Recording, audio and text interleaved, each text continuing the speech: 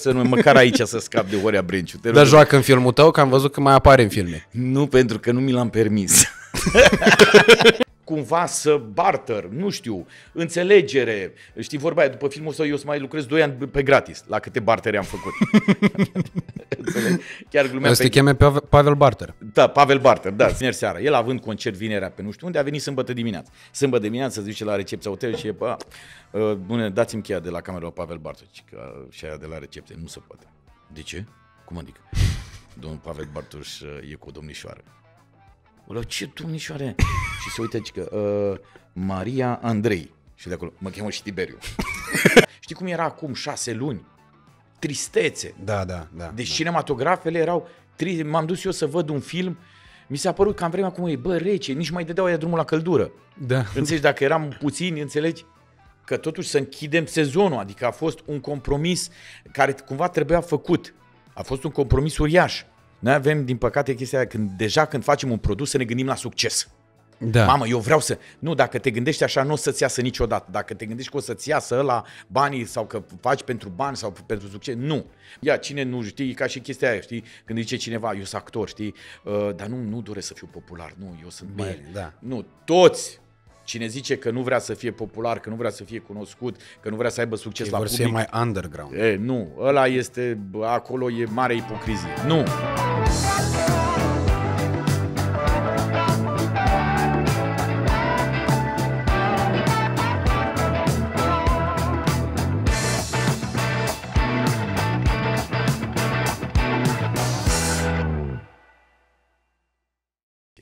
Prieteni, podcastul ăsta a început deja. A înce- a, Adică nu avem de ce să mai Ah, uh, scuze. uh, să ne mai ascundem pentru că a fost o uh, bucată introductivă ca să înțelegeți. De când ne-am întâlnit am și început să uh, uh, vorbim uh, vrute și nevrute. Am trecut prin uh, multe subiecte, de la dependența de spray de nas, la de ce se vorbește uh, mai multă franceză ca limbă străină principală la Iași decât în restul țării. Uh, amintiri cu Pavel Bartoș, o să vă las o poză prima dată când am văzut eu în carne și oase în uh, Bine, 2000. mai mult carne, știi? Înțelegi? adică, na, și pe atunci avea multă carne, știi? Și palucuri și slană. în 2013 uh, la un meci România-Ungaria, la ultima victorie răsunătoare a naționalei da. României, uh, trească Marica pe atunci dădea goluri la fotbal, uh, în acel 3-0 cu, cu Ungaria, după care uh, am tot trecut prin tot soiul de lucruri, ne-am uh, gândit la România au talent pentru că este un show absolut formidabil din punctul meu de vedere, audiențele sunt, nu din punctul meu de vedere, că din punctul uh, ăstora, de le Telespectatorilor. contorizează, da, Da, da, da, da. Adică e statistică uh, Da. da. clară, când aproape 3 milioane de oameni se uită în fiecare vineri seară la un show uh, într-o jumătate de an, mi se pare ceva absolut extraordinar. Da. Pavel uh, este aici însă astăzi în principal uh, datorită faptului că uh, se lansează exact mâine în toate cinematografele din țară filmul Ramon, film uh, pe care uh, Pavel l-a făcut împreună cu Jesus del Cero și uh, care îl are personaj principal, cel puțin din ceea ce mi-am dat seama nevăzând încă filmul la momentul filmării uh, acestui episod, îl voi vedea în câteva zile uh, și o să vă pot uh, da feedback-ul în momentul respectiv. Uh, Pavel este actorul principal, el îl joacă pe uh, domnul Ramon și o să încercăm în primul și în primul rând să înțelegem de Pe ce îl cheamă domnul Ramon. Ramon. Deci îmi place asta. Pe dânsul, îl joacă pe dânsul, pe dânsul Ramon, știi? Dar tu cunoști vreun om pe care să-l cheme Ramon? Da, da, că de acolo mi-a și venit, îți dai seama că n-am, nu mi-a venit Pe uh, cine, că curios? Ramon Cotizo. Și eu tot pe ăla îl Îți cunosc, jur. e singurul. La un moment dat de acolo mi-a venit, pers- ideea personajului mi-a venit de vreo, hai să zicem, că eram la Dansez pentru tine, eram concurent.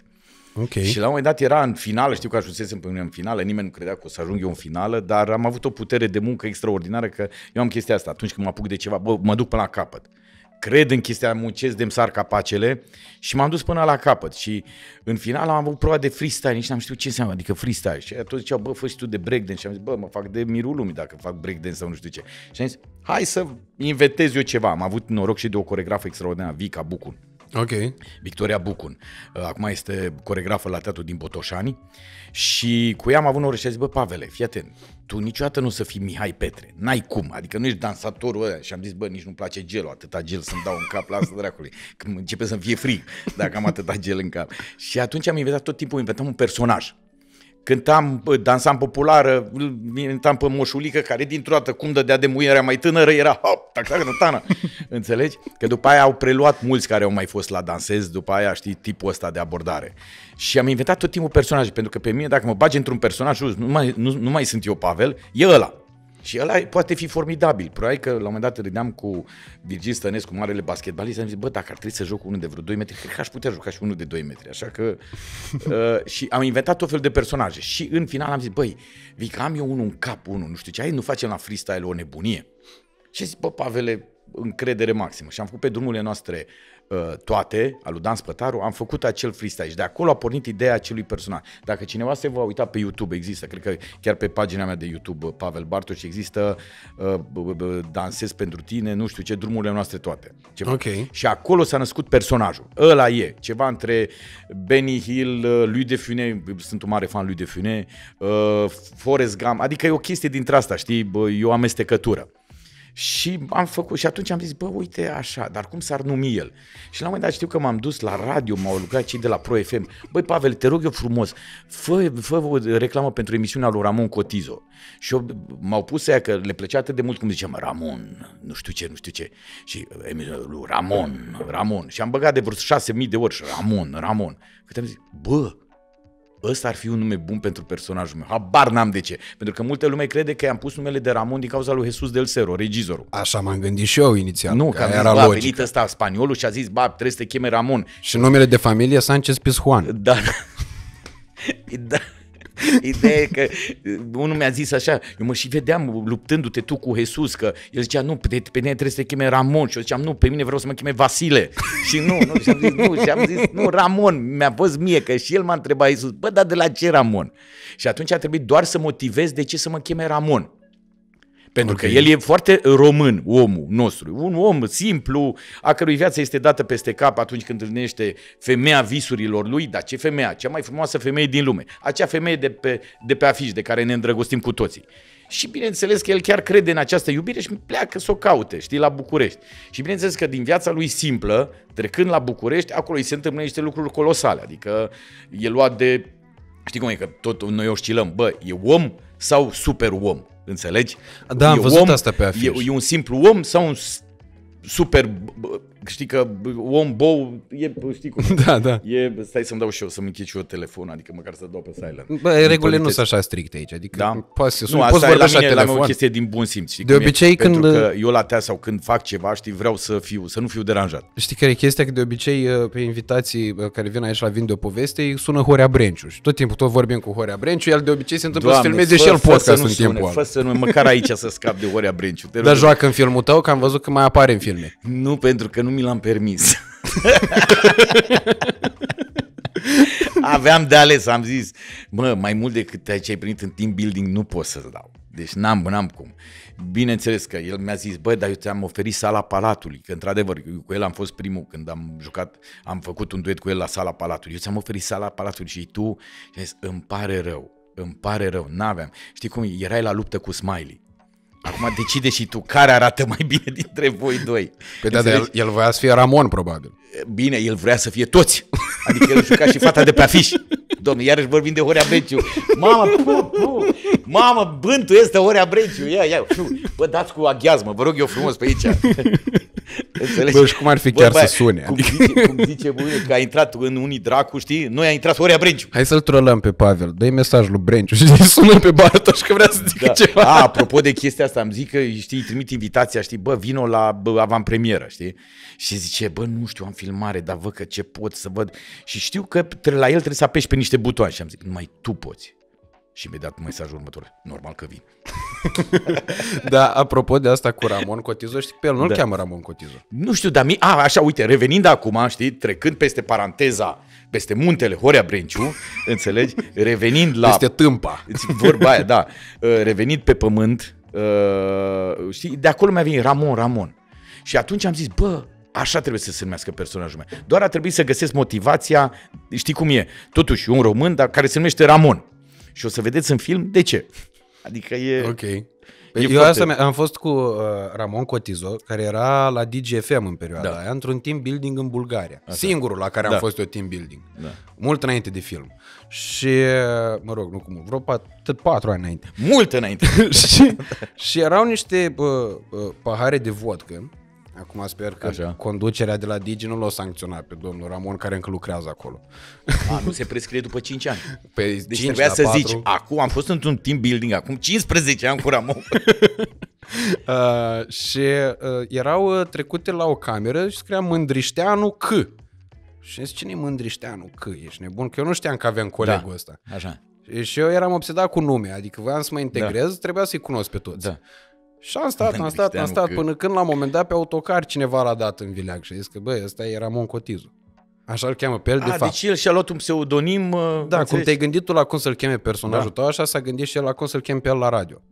Ma. Și mai este unul, Nono Semen, dacă Da, știi. știu și el, Nici da. pe ăla nu-l cheamă așa. A, deci au luat ei, au zis, bă, hai să vedem care e mai spaniol. Se uitau la telenovele într-o zi, înțelegi, și Jose Armando era dat.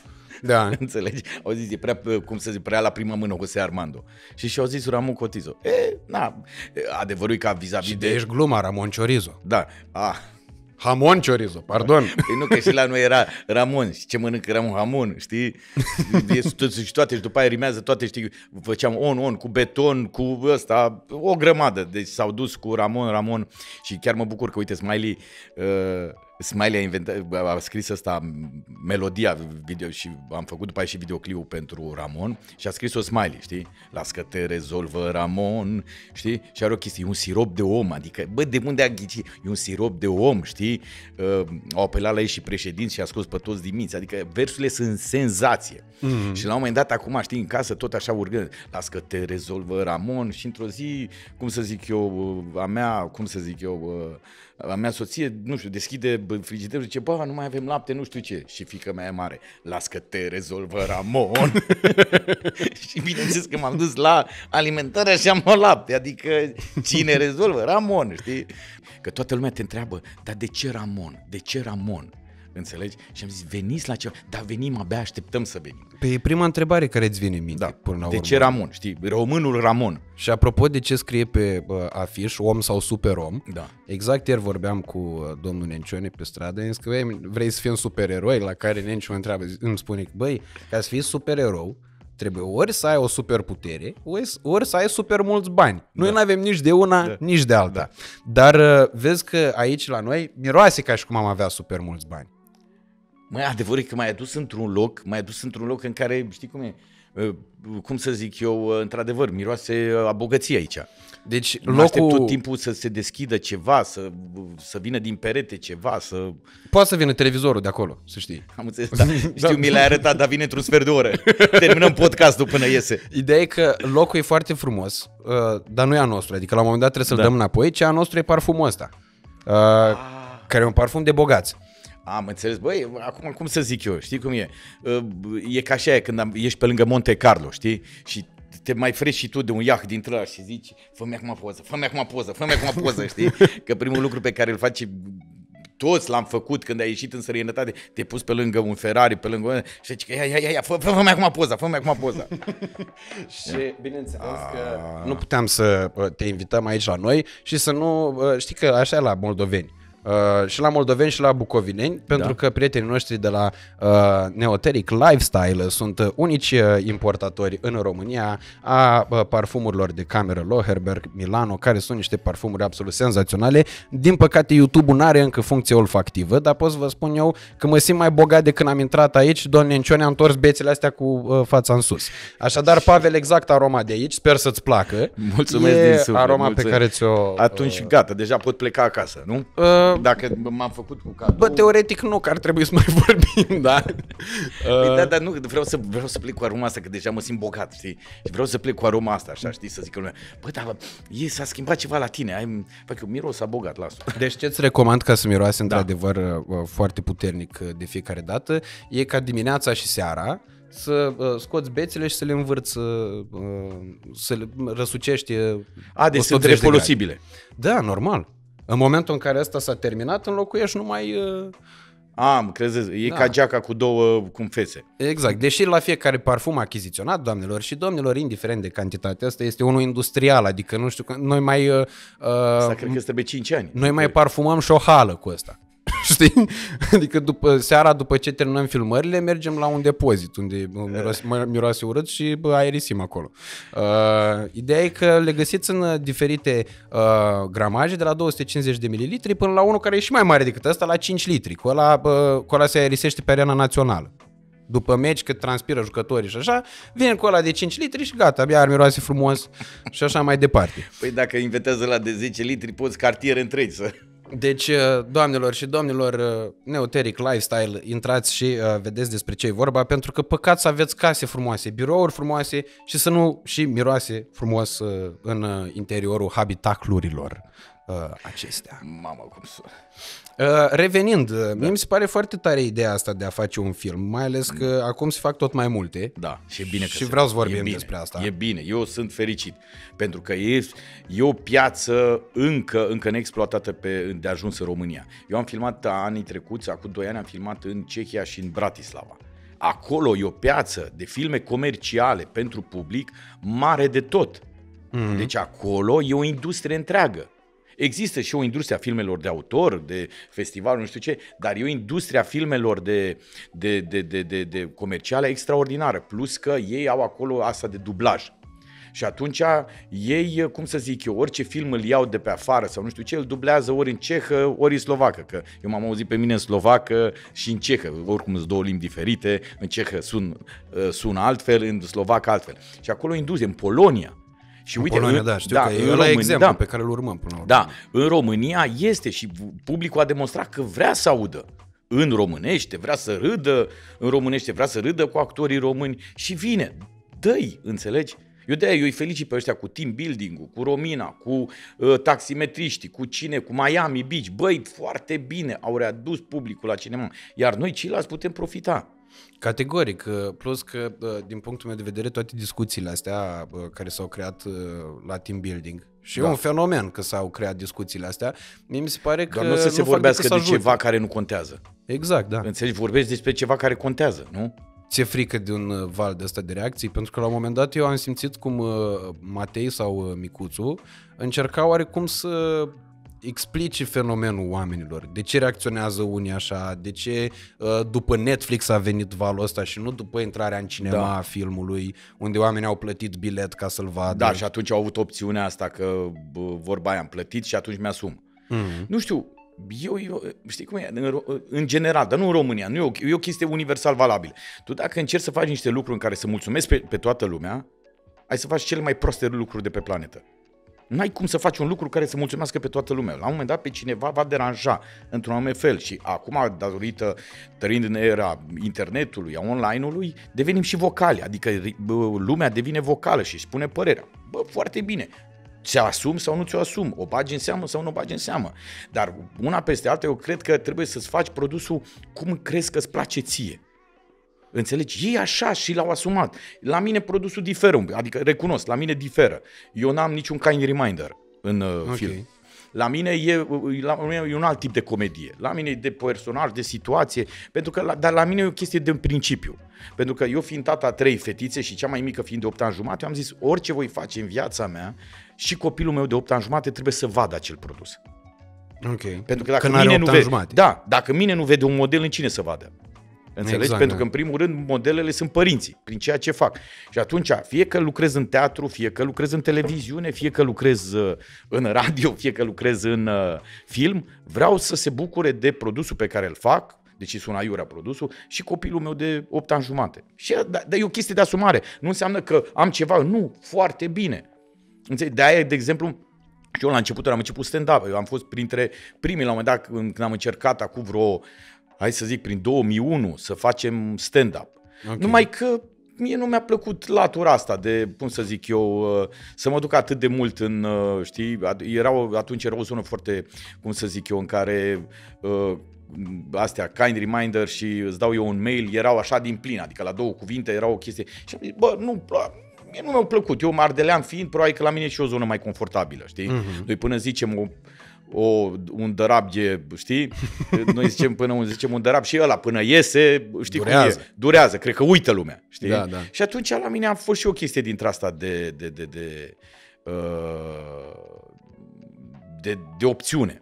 Dar nu înseamnă că am ce, Doamne, eu chiar mă bucur. Băi, ține de a, îți asumi ceea ce faci.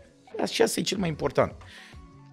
Și eu mă bucur că ei au făcut ce au făcut, că au adus, au readus publicul, pentru că după pandemie, știm foarte bine, cel mai prost stătea cinematogra- stăteau cinematografele. Erau discuții să le transforme în săli de știu. jocuri pentru copii. Pentru Da, că nu adică mai... revenirea aleatoriilor era de 80%, la concerte de vreo 70 și ceva la sută și în cinematografe de 35%. Mhm. Adică era groaznic pentru că lumea în pandemie s-a obișnuit cu, platform, s-a obișnuit cu platformele.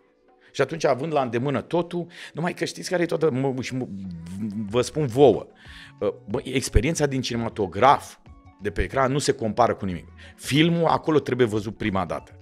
De-aia, uite, și Tom Cruise, acum nu că mă compar cu el, deși, na, aș putea, că mai pot și eu pilota una, un avion sau un elicopter. Bine, toate astea în vis. Și să mai faci o cascadorie. Sa, da, și apropo, chiar îmi fac singur cascadorile. Dar nu sar de pe blocuri. Nu, pentru că nu avem blocuri așa înalte, toate sunt doar de 10 etaje. Știi? și nu merită să te riști N-avem, pentru n-avem, 10 n-avem etaje. zgârienori din, din, din Dubai sau de unde face el misiune imposibilă, știi? Aha. Și nici furtunile de nisip și atunci, na, asta, sar doar de la etajul 10, atât. Da, Mhm. aia e o chestie, poate să fac orice copil, Doamne ferește. Știi? Ce că nu faceți așa ceva acasă. Uh, și, cum să zic eu, uh, da, asta e, e doar de, de, și mă bucur că mă bucur că au readus publicul, dar și iarăși mergeți la... a- Eu țin să vadă lumea filmul prima dată în cinematograf.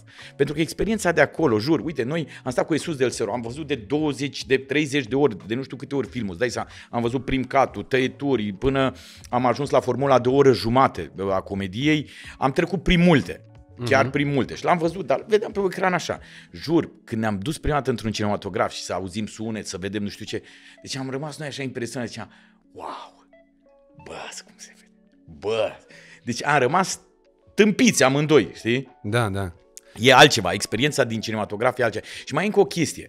Te Știi ține cum concentrat. E? e și ca la teatru. E și ca la teatru. Tu vii, dacă tu vezi singura ca să un film, nu știu cât râzi sau cât te emoționează sau cât nu știu ce. Că e o chestie între asta de... Mm. Dar când te iei cu gașca, Mhm. râzi mai cu poftă, te emoționezi mai cu poftă, pentru că e o chestie de gașcă, de dacă o sală întreagă de 2-300 de oameni râde, te iei după ei, nu neapărat că te dar te manifesti mai altfel. Se schimbă energia. Da, e, e bă, ăsta. Pentru că una e să vezi un film în 3-4 persoane și când ești acasă. Una când vezi un film și când au venit toată gașca de 10 persoane, s-a schimbat situația. Eu nu cred că m-am mai uitat la un film singur de mai bine de un an de zile. Păi, că nici nu știu dacă bă, te mai uiți la niște seriale, poate, care te mai duc așa. Știi? Da, Dar, în general, la un film nu te poți uita singur. Așa. m, Și de-aia zic că experiența de cinematografie este cu totul alta. De aceea chiar vă invit. Băi, mergeți. Mergeți pentru că senzația care o trăiești în cinematograf e cu totul alta. Noi avem uh, un obicei, că am mai vorbit despre da. uh, filme aici și despre team building, Da. am uh, vorbit și despre Mirciulică cu Mircea Bravo Da. uh, și am făcut uh, Uite, treaba bravo asta și de lui. fiecare dată. Bravo și, băi, au readus publicul. Mhm. Exact, da. da. Și cifre da. considerabile. Uh, Iar uh, obiceiul respectiv uh, sună cam așa. Uh, Dat fiind faptul că acum e o perioadă mai uh, frumoasă din ana aia în care uh, primim bani, Am crezut că vine Paștele deja. o să mărim miza. Avem uh, 10 bilete duble la uh, Ramon pe care le dau eu pe persoană fizică, cum ar zice mondialul, gest din partea mea, da? ca să se înțeleagă. Da? Uh, facem... Adică uh, să înțeleg că le-ai cumpărat. Nu, le cumpăr, că nu Ah. le-am cumpărat încă. Foarte Uh, bine, deci urmați exemplul lui și și, le- puteți face tot așa cu familiile voastre. Dau 10 bilete, ori... Mecanismul e simplu. Deci uh, uh, comentariul la acest podcast în secțiunea de comentarii, nu în chatul live când el va fi în premieră, da? Că mă mai întrebați unii, nu, el, podcastul nu e live niciodată. A fost în nu? niște momente uh, uh, speciale, când a fost cu războiul, cu Regina, cu astea, într-adevăr am făcut live, când îl vedeți pe domnul Striblea de obicei e live. În rest, el e filmat înainte, de data asta cu o săptămână înainte, deci nu în chatul live, în secțiunea de comentarii, uh, comentariu cu uh, Ramon, după care noi vom filtra comentariile într-un uh, soft pe care îl va alege domnul Nencione, că eu nu mă pricep la asta, și uh, vom uh, selecta 10 astfel de personaje, după care acele personaje eu le voi anunța la începutul podcastului de săptămâna viitoare, adică de pe 9 februarie. Uh, Pe 9 februarie, dacă vă auziți uh, numele anunțat aici de către mine în debutul episodului, uh, nu trebuie să faceți altceva decât să trimiteți un mesaj pe Instagram, că cu mail-ul am văzut că e complicat. Pe Instagramul meu, la Radu Țibulcă, că YouTube nu are opțiune de a comunica direct, uh, îmi spuneți uh, în ce oraș uh, sunteți și în orașul respectiv intră fratele vostru pe Cinema City, pe site, cumpără două bilete, și, bă, deci fiecare câștigă două, da? Adică sunt 20 de bilete în total. Da, zgârcit 10 ești. invitații duble. Zgârcit ești, n-ai fi putut cumpăra și 3000, nu știu. Trei săli. Trei săli. Doamnelor și domnilor, dacă, mer- dacă comentați cu Ramon la Timișoara, filmul e gratis. Da. Asta nu. Asta nu. Deci 10 comentarii le selectăm, fiecare comentariu primește două bilete la uh, Ramon, iar părerea mea e că dacă le primiți, să dați și voi gestul mai departe, e cât se poate de simplu, pentru că în felul ăsta uh, nu câștigă decât industria de film uh, românesc, care a fost foarte amorțită, că aici știți foarte bine care e părerea mea și o să o uh, reiterez de fiecare dată, uh, dar mai presus de toate aș vrea să aflu părerea lui Pavel despre asta da. și vreau să îl întreb uh, pe el Așa. cum uh, ți-ai făcut curaj să faci pasul ăsta? Pentru că totuși un film e o, o investiție foarte riscantă și lumea nu prea refuză să înțeleagă câți bani sunt necesari ca să faci un film. Unii au mai și umflat sume și au spus că au băgat milioane în niște filme care nu s-au făcut cu milioane, că am văzut și noi locațiile de filmare. Uh, Da. Alții mai și bagatelizează chestia asta și spun că, doamne, aia, Totul, e- auzi, totul ține de marketing. Cum marketezi? Iei un băț, înțelegi, dacă zici că bățul ăsta e din crucea lui Isus, imediat se schimbă situația. Dacă zici că ăsta e bățul din curtea din spate, din copacul din spate, a, și pentru tine poate avea o semnificație, dar pentru ceilalți n-are nicio. E chestie de, e de cum ne marketăm. Nu, eu acum să-ți spun sincer, știi care a fost asta cu filmul? Eu tot am încercat uh, cu teatru, îmi făceam propriile mele produse, că la un moment dat ai o chestie, când ajungi la o autoritate profesională, așa, vrei să joci și ce vrei tu. Mm. Înțelegi? Și atunci am zis, bă, film, film, film, filmul venea la mine în cantități așa, știi cum e, ori că nu erau suficient de mari cantitățile, ori că veneau atunci când eu aveam treabă.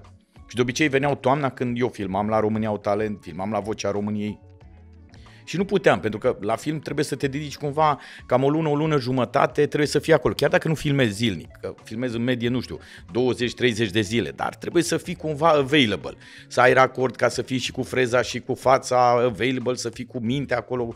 Și nu venea. Și atunci am zis, bă, trebuie să-mi gestionez eu produsele ca să le fac când am eu timp, Mhm. cu cine a- vreau eu.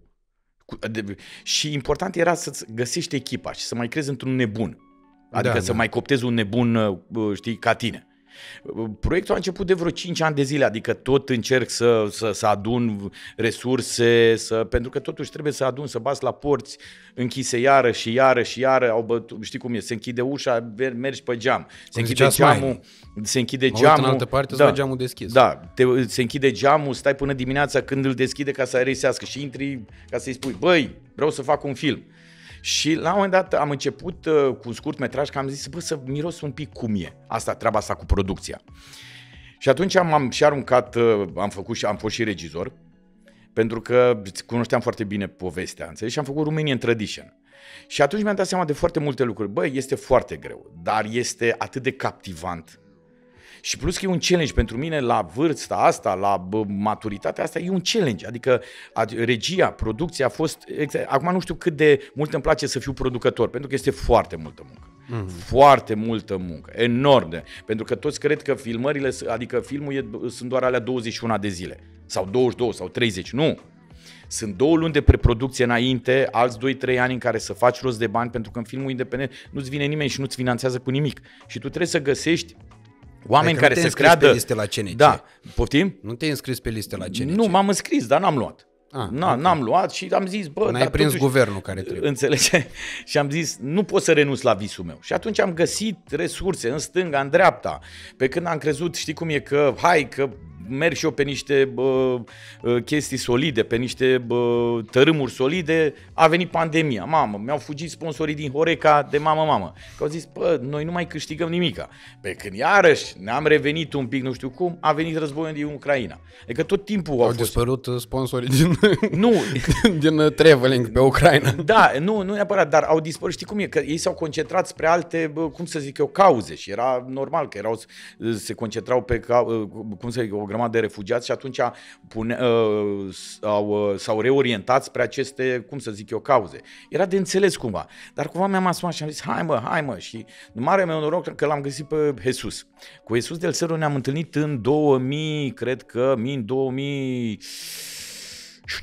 2007, 2008, 2009, ceva de okay. genul, când a făcut prima comedie de Crăciun, Ho Ho Ho. Gata, da. Aia de după, de, da. de după Revoluția, aia cu Ștefan Bănică, cu mine, uh, cu Alina Chivulescu și a avut așa, a avut un succes atât de mare aia și mi-a plăcut atât de mult și am zis, bă, uite o comedie românească. Deci se poate face comedie românească dintre aia, așa cum o văd eu în mm-hmm. film. Înțelegi? Și am zis, uite, i-am zis lui Iisus, uite, dacă vreodată voi avea posibilitatea să pot produce un film, cu tine va fi. Bă, și ne-am tot promis așa, ne-am tot promis, până a venit acest moment. Și a zis, i-am arătat uh, ideea mea și a zis, da, Pavele, uite, dar vreau să fiu și cu... Mamă, când am zis că vrea să fie și co-producător, am zis, îți mulțumesc, Doamne, că mi l-ai dat pe, cum să zic eu, pălmic, mm-hmm. uh, pe Jesus. Înțelegi? Mi l-ai dat. Și... E clar că de la Dumnezeu a venit, având în vedere mă, și numele lui. Da, și uite, asta mi-a mai dat încă o chestie. Știi că toate au un timp al lor. Că dacă tu încerci să forțești, să faci acum, că vreau eu sau nu știu ce, nu știu dacă ți Normal că trebuie să provoci tot timpul. Normal că trebuie să împingi, adică trebuie să fii insistent, să bați la porți închise iară, de tot timpul.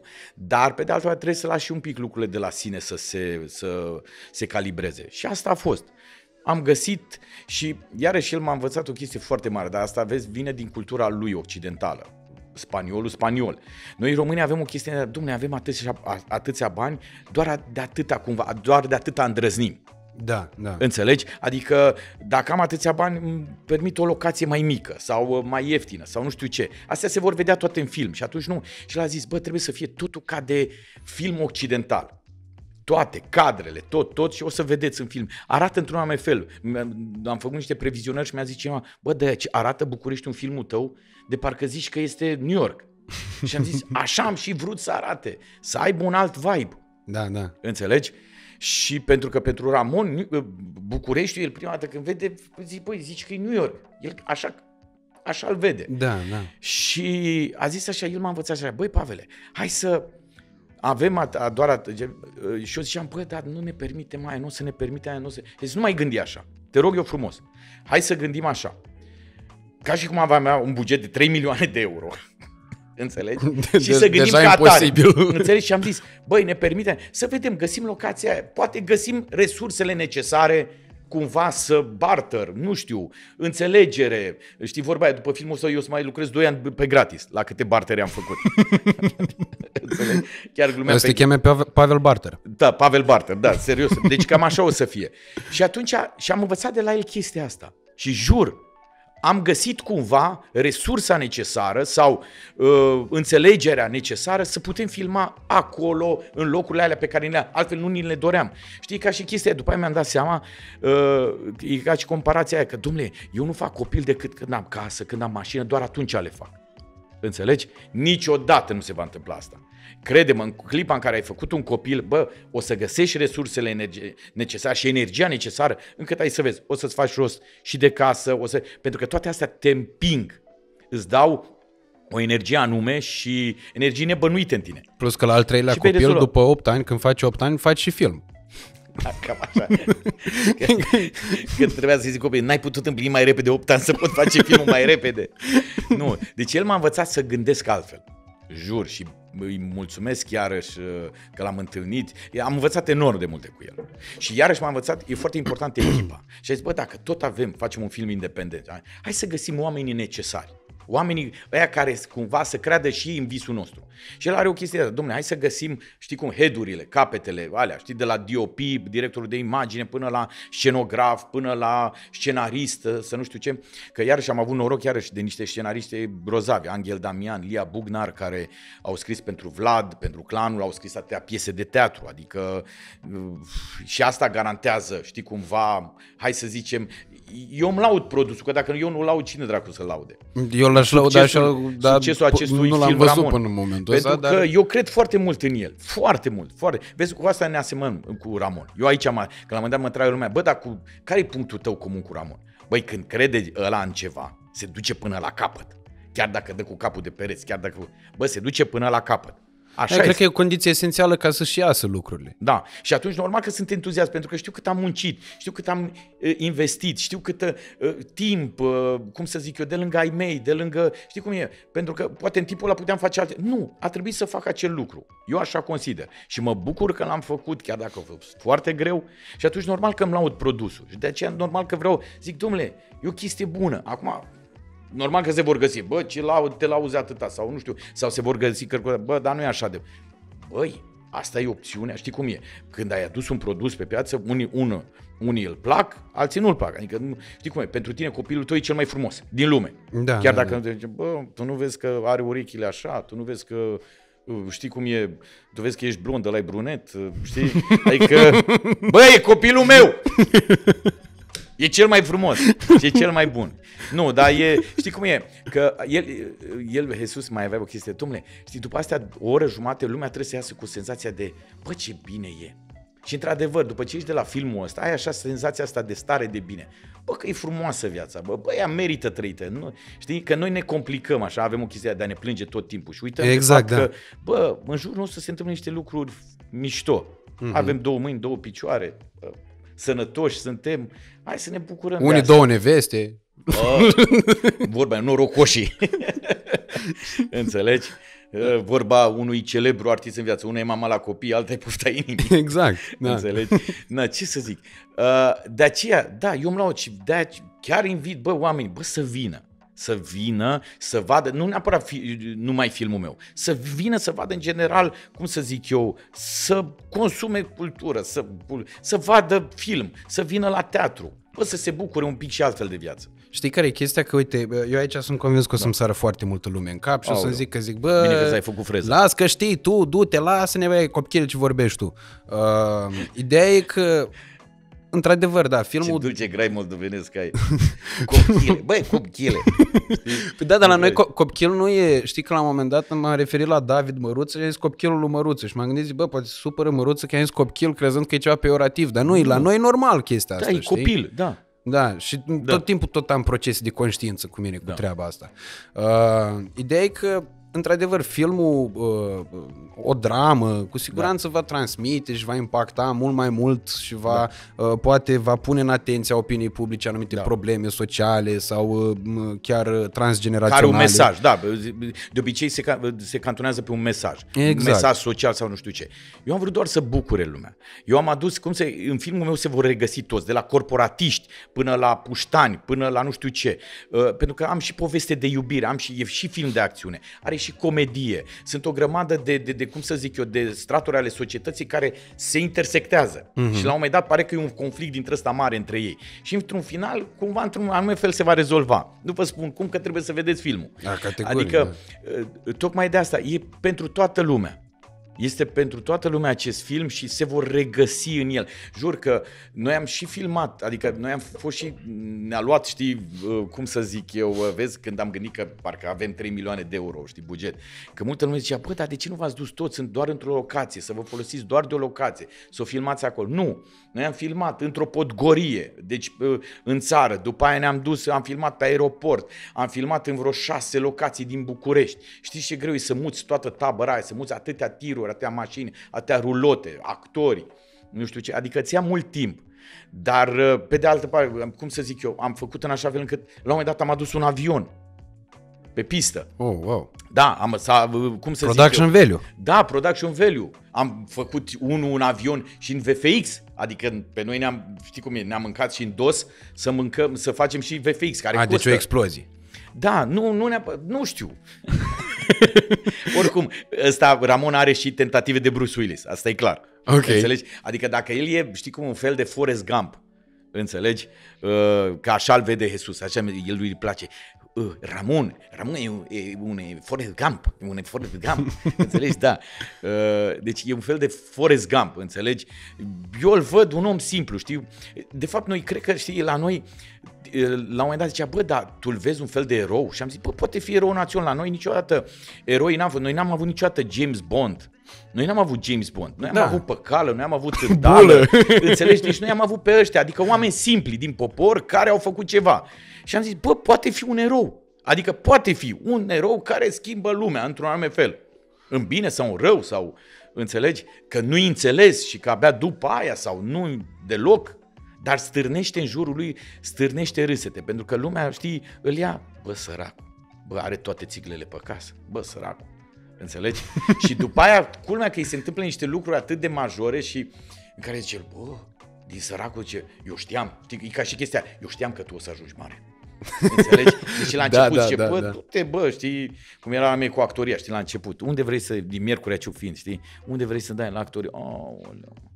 Bă, tu te vezi pe tine, nu știu ce. Și acum când mă duc, știi, în- cât am Miercurea Ciuc, știi, am mulți dintre ăștia.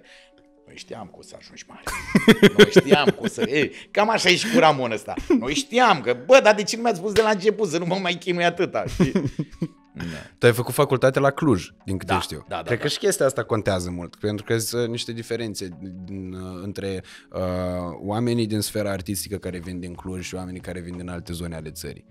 Adică mi se pare că e o, uh, o portiță mai spre occidental decât, uh, decât în restul situațiilor. Măi, știi cum e? Sunt stiluri. Sunt- E clar că sunt stiluri diferite și abordări diferite, mentalități diferite, dar pe de altă parte, știi cum, tu trebuie să le ui- uniformizezi și să te iei din toate stilurile și mentalitățile astea cei mai buni. Pentru tine. Mm-hmm. Dar nu înseamnă că cei mai buni pentru tine e bun și pentru ceilalți. Exact, da. Adică nici ăsta. Dar trebuie să fie bun pentru tine. Și astea, toate astea vin odată cu experiența, că niciodată nu ai formula necesară. Bă, acum iau la bun de acolo, la bun de acolo. Nu e. Abana, câteodată faci niște greșeli și niște prostii mai mari decât tine. Dar înveți din greșelile astea. Că câteodată e mult mai bine să greșești. Uh, știi, important e să nu persiști în greșeli, că atunci înseamnă că ești dobitoc. Mm-hmm. Înțelegi?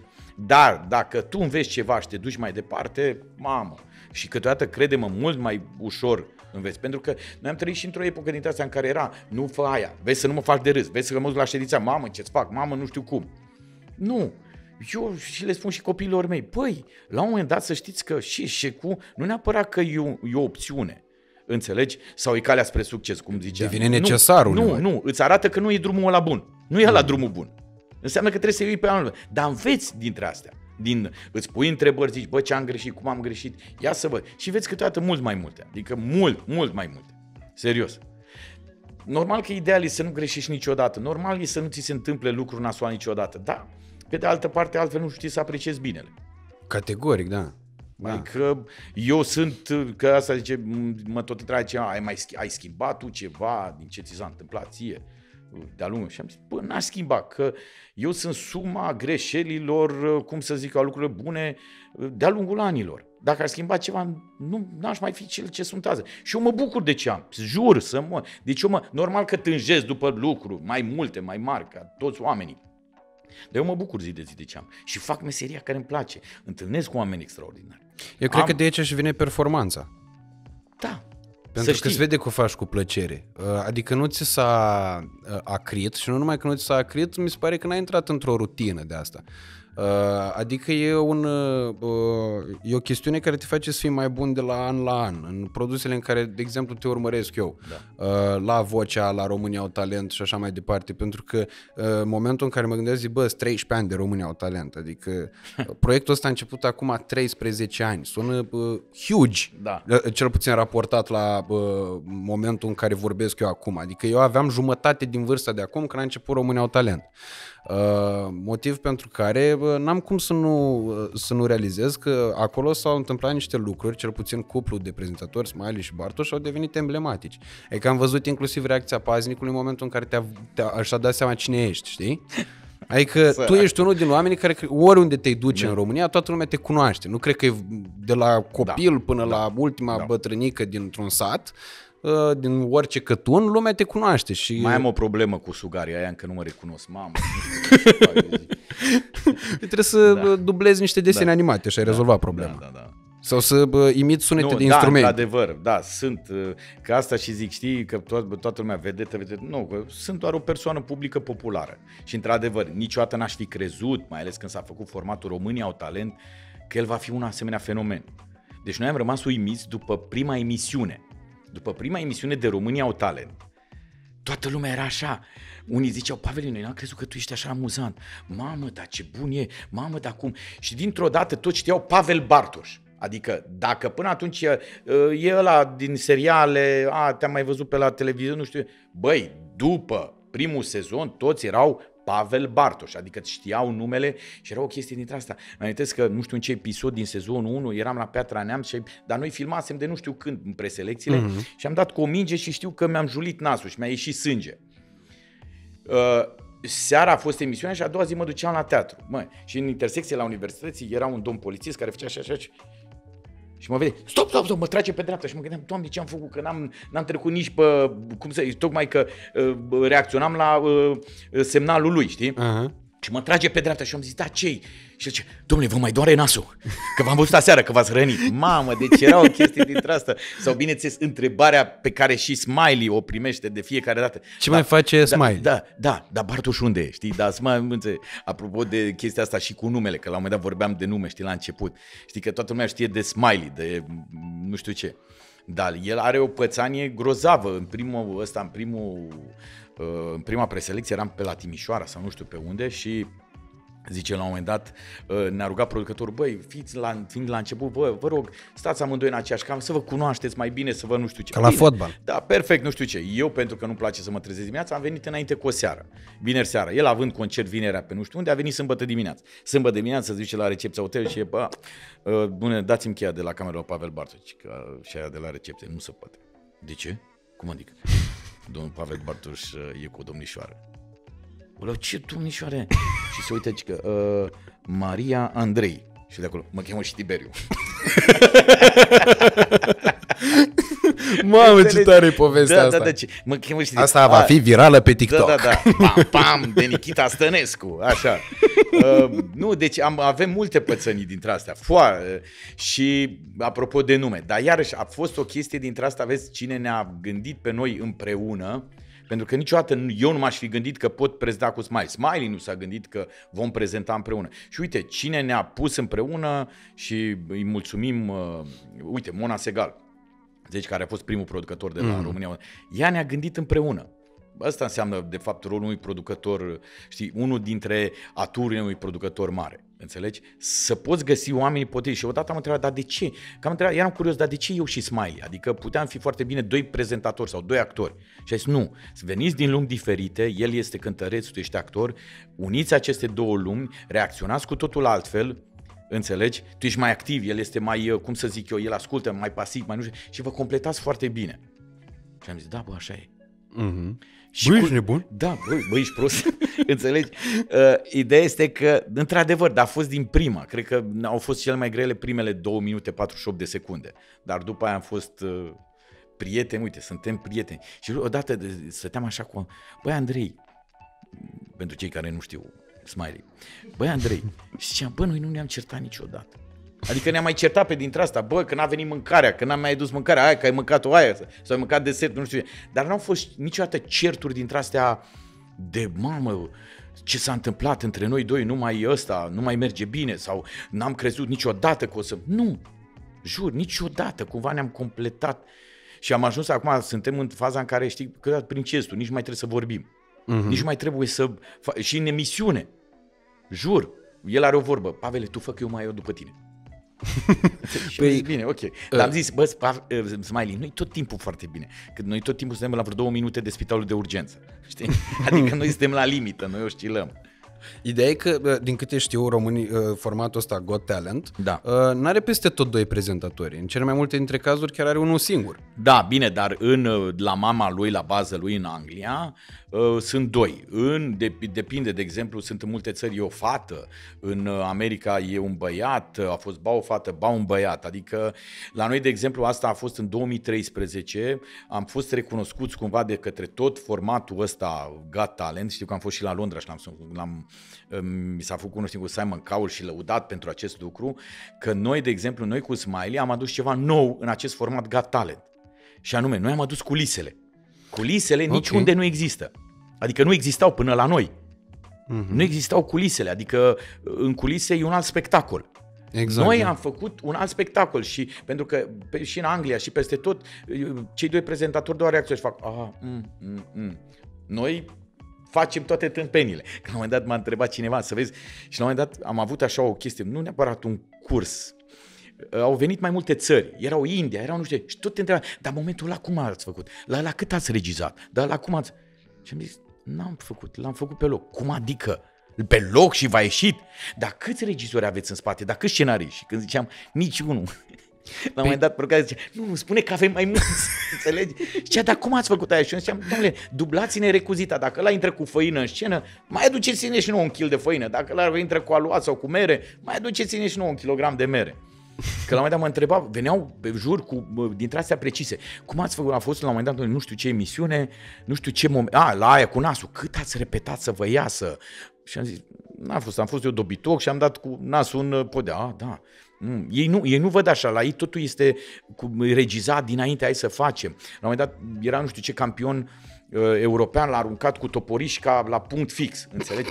Îți dai seama că el în mediul lui chiar era campion european, ne-a și arătat și într-adevăr. Dar știi, una e în mediul lui, adică când ești la o competiție, când totul e liniște, pac, te concentrezi, vum. Dacă intri într-o sală și în care sunt o mie și ceva de oameni care zic, ha, ha, ia, hai să-l vedem, campion, mă. Îți dai seama că omul l-ai scos din mediul lui și s-a emoționat și uite așa ai tremurat mâna. Și când a aruncat, tot pe lângă arunca, înțelegi? Mm-hmm. Și la un moment dat zice, e, pare, zice Andra, cred că, sau nu știu ce zice, parcă vezi pe Pavelia Toporișca și o arunca la fix. Și ce eu, nu cred, mă, hai mă, să iasă și asta. Băi, și jur, în clipa aia când am auzit asta am zis, uite, pac, și am luat Toporișca, vum, chiar în mijloc, știi ce? Cât v-ați chinuit la ea? Nu, a fost o chestie de moment, înțelegi? Da, pentru că până la urmă, urmei, văd că lucrurile astea la noi, la români, se întâmplă dintr-o parcă o, devine ca o lege nescrisă, știi? Că în momentul în care n-ai și te descurci cum poți, da. Că da, e într-adevăr, poate plătesc 5 scenariști, cine știe ce se întâmplă pe acolo, ce regii da. uh, monstruoase pun aia în funcțiune. În momentul în care aici te forțează să găsești omul potrivit, omul care să fie suficient de deschis încât să uh, acționeze la impuls și uh, să mai aibă și calitatea asta de a genera uh, lucruri ori haioase, ori șocante, că da. asta când caz în nas, e și haios, e și lumea se gândește da. că polițistul ăla, pe ăla l-a marcat căzătura în nas. Da, da era așa, vă, s-a întâmplat ceva, nu știu ce, sau... Adică era... Știi, știi cum e? Noi suntem... Că nu toate ne ies, înțelegi? Mm-hmm. Nu toate ne ies formidabil. Dar noi facem. Noi facem, adică la un moment dat, mă nu știu în ce ediție, de ediția trecută, ce că, dar tot așa, băi, Pavele, ați regizat aia cu plasma, am avut o plasmă în spate și am zis, nu, am luat un scaun, am vrut să fac altceva și am dat în plasmă. A, da, gata, asta, știu, da. Asta nu ziua, copii, nu faceți așa ceva acasă, Doamne ferește, știi? Adică asta ziceam cu mai, pentru noi, România au talent, este cel mai tare, cel mai cool loc de joacă. Mm-hmm. Noi la vârsta asta, noi avem un loc de joacă. Da, și se vede chestia asta. Adică se vede că o faceți da. cu plăcere. Da. Plus că mai era o întrebare, toată lumea spunea la un moment dat, după cred că vreo... A fost perioada aia de glorie maximă da, a formatului, da. care era și gloria maximă da, a da. televiziunii. Da, da, da, Imediat după Dansez pentru tine, la un moment dat da. ele au și funcționat în da. paralel. Făcuse, cred că, finala aia cu Gog, când și-a oprit bătăile da. inimii, undeva la 5,6 milioane în minutul de aur. Da.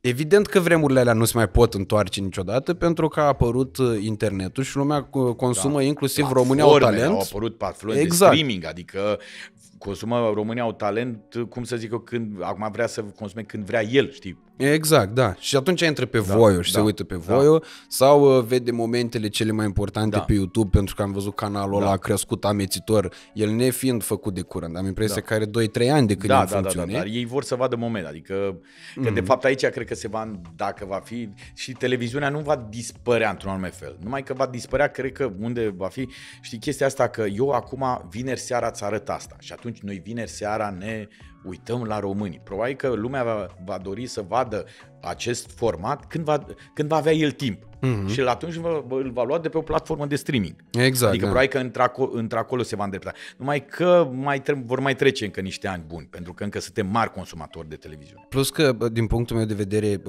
un astfel de format urcat pe o platformă de streaming, el devine evergreen, pentru că, spre exemplu, de multe ori cred că se întâmplă pentru foarte mulți oameni să-și aducă aminte. Uite, cum am adus aminte de Gog care și-au da. bătăile inimii. Și ar vrea să... Sau da. numărul lui magicianul Robert Tudor, da când a făcut el uh, fetița aia să apară din cearșaf uh, de nicăieri.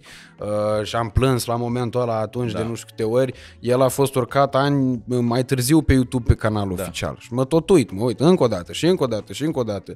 Uh, iar pe lângă asta era discuția la un moment dat că, domnule, o să se termine și ciudații ăștia din țară. Că pe lângă da. talent, da. la România au talent, ai și netalent, uh, Da, care dar asta tamană e o la formulă, show. Tocmai că asta e o formulă, știi? Exact. Adică De ei nu dacă se ar fi termină toți niciodată. Buni, dacă, dacă ar fi toți buni, tu te-ai plictisit de ei.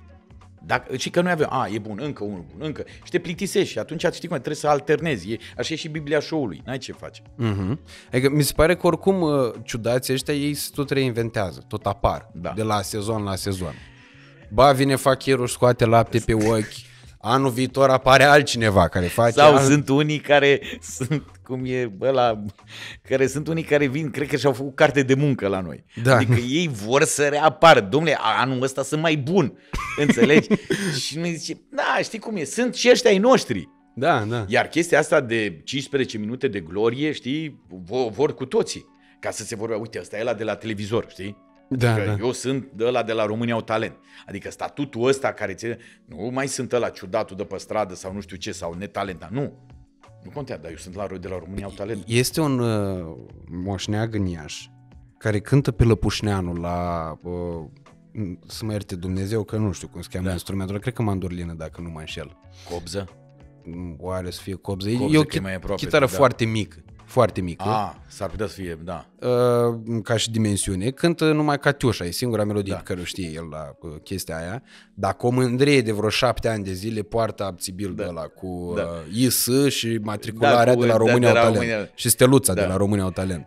Pe noi ne-au uimit cel mai tare apropo de chestia de ăștia care, numai că o fac într-un anume fel, știi cum e? A fost ăsta, cum îl cheamă, vai, ăsta care cânta... Gigel Frone. Gigel Frone.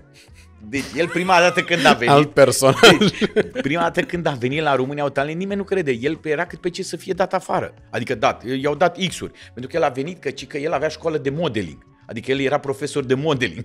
ok, adică, Și adică el se au lua în adus- serios adus niște cum ar fete veni. ca să le învețe cum să facă modeling. Ăștia, cu- Așa, ok. da, da.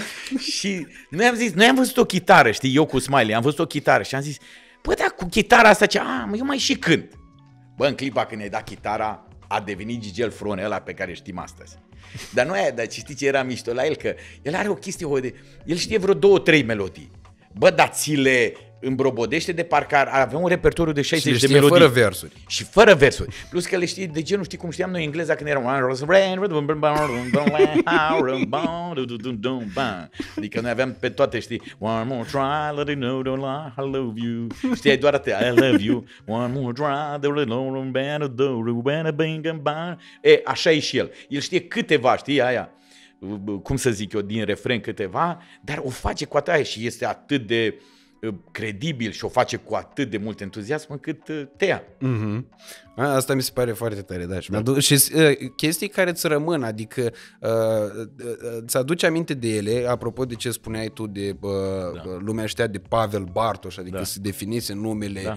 uh, și a, a, asocia imediat uh, chipul cu numele uh, și mi-aduc aminte că au fost inclusiv momentele alea cu sexy Pavel Bartoș, Mamă, a mai deci fost aia- aia cu Fuiorul, care s-a Da. născut oricum tot din nimic, Da. dar care acum, fără să fie, că doar n-am făcut o documentație da. înainte, momente epocale România au talent. Pac. Nu, Alea pur și care simplu ți-au le rămas aduc ție, aminte, da.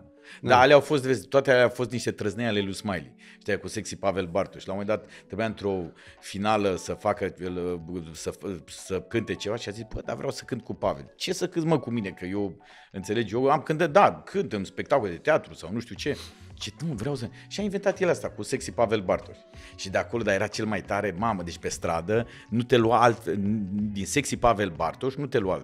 Și știu că odată m-am dus la, cum să zic eu, nu știu, am, bă, la, la, la școală să-mi iau copilul de la școală.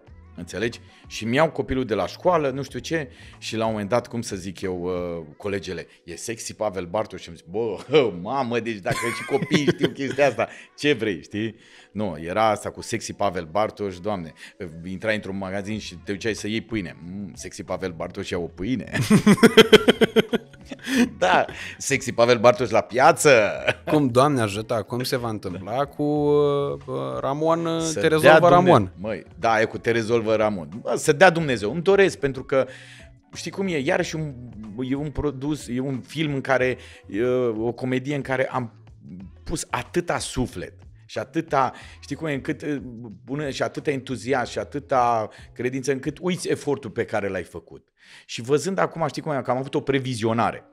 O previzionare dintre asta așa, am avut cu, cum să zic eu, cu Puștan și am avut cu dintre ăștia mai uh, puri pe, după 25 de ani, știi? Uh, random aleși Da, sau... Uh... random, adică au fost așa, știi cum e, uh, am zis hai să încercăm să vedem cum e, uh, știi, uh, ăștia de TikTok, YouTuber, nu știu cum. Și cumva ei s-au selectat în două săli, adică tinerii s-au dus într-o sală, știi, ăștia Puștan. Ah, că s-au dus pe Și găști, da. pe găști, pe nu știu ce și ăștia în cealaltă.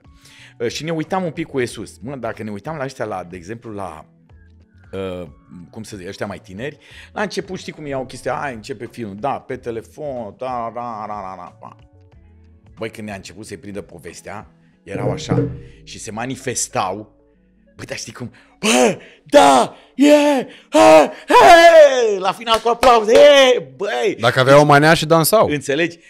Nu, bă, înțelegi? Na, ideea este că au, au avut o reacție atât de mișto și mi-am dat seama că, știi cum e, că am zis, bă, uite și, bă, cum reacționează, dacă ai o poveste bună, dacă ai comedie, dacă ai emoție, bă, lumea intră în chestia aia și se regăsesc. Pentru că, într-adevăr, ăștia peste 25 ani au intrat din prima în convenție, știi? Uh-huh. Că e o poveste și nu știu ce. Dar n-au fost atât de vocali. Ăștia tinerii, mamă, deci au fost niște reacții Păi ei sunt aia care incredibile. vor vorbi a doua zi despre film. Să dea și vor Dumnezeu face să pe fie. ceilalți să meargă. Da, da, pentru că eu cred, știi cum la început vine lumea din curiozitate, dar după aia produsul spune de, de la sine. Mhm. Adică după aia produsul se vinde pe el.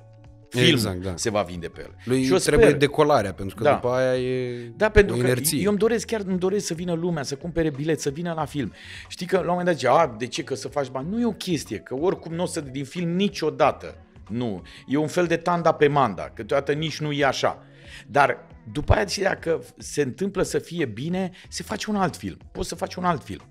Exact. Înțelegi? pentru Că, da, că de da. fapt e aici, e, știi, hai să mai facem un alt film. Și să, să vezi și odată, în, încetul cu încetul se va face filme din ce în ce mai bune, din ce în ce mai, cum să zic eu, multe și asta e bine pentru toată lumea. Uh, Eu am avut un șoc, știi când? Adică la team building nu m-am șocat atât de tare pentru că Da. am văzut, uh, eu m-am dus la tot așa la premieră, la eveniment, Da. după care m-am dus la nunți, botezuri, mormântări, Da. în săptămâna în Da. care team building intra și el în Da. uh, nunți, botezuri, mormântări, care iarăși un film pe care vi l-am mai recomandat și vi-l mai recomand. Da, Odată mă da. bucur că e locul 1 pe Netflix, este extraordinar, că în da. cinema Dar pus a odată avut, cu a avut team building nenorocul, și a avut Merciulică, nenorocul că n-a avut marketingul lui, cum să zic eu, lui Team Bill. Vezi că ce Eu cred că înseamnă- timingul a fost acolo Da, iar e, e foarte important. Că și timingul. Mirciulică și team building, tu să te bați cu filmele alea, e destul de complicat. Da.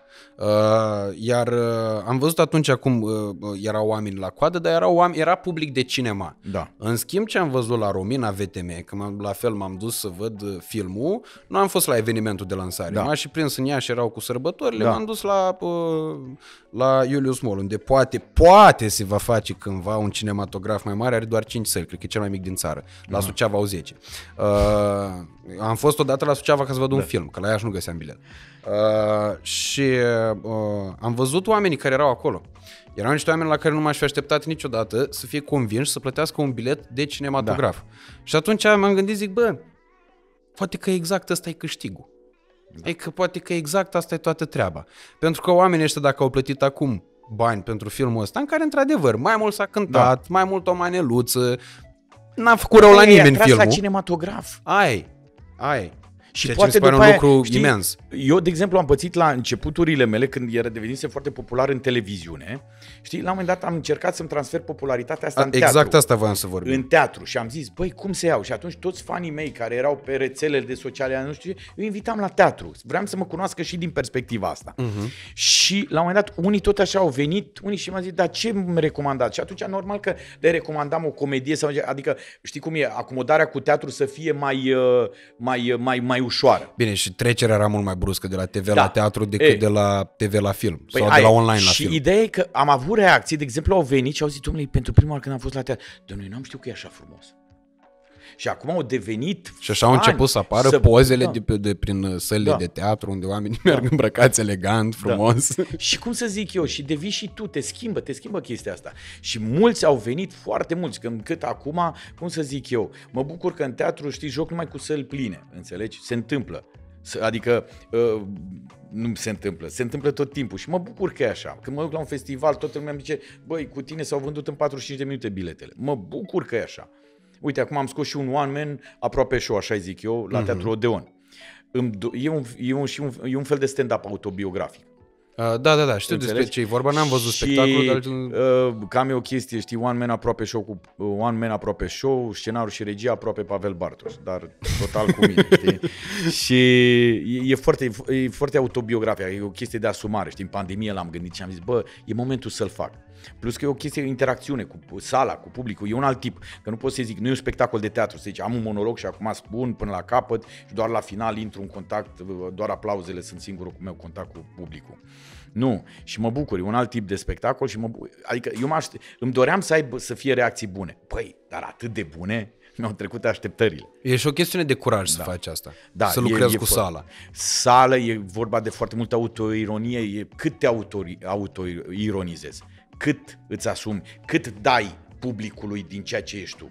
Mm-hmm. Înțelegi? Adică aici ține de, de, de asumare. Ori eu am zis, băi, mă duc, am niște povești, am de viață încât uh, am de unde.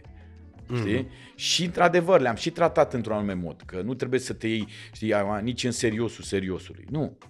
E multă, multă. E, eu, știi cum e? e? Mai ales în televiziune, în prezentare sau, nu știu, e, e o condiție de bază autoironia. Exact. Da. Autoironia, da. dacă nu te iei prea în serios pe tine, asta te salvează. Înțelegi? Permite-ți să râzi de tine.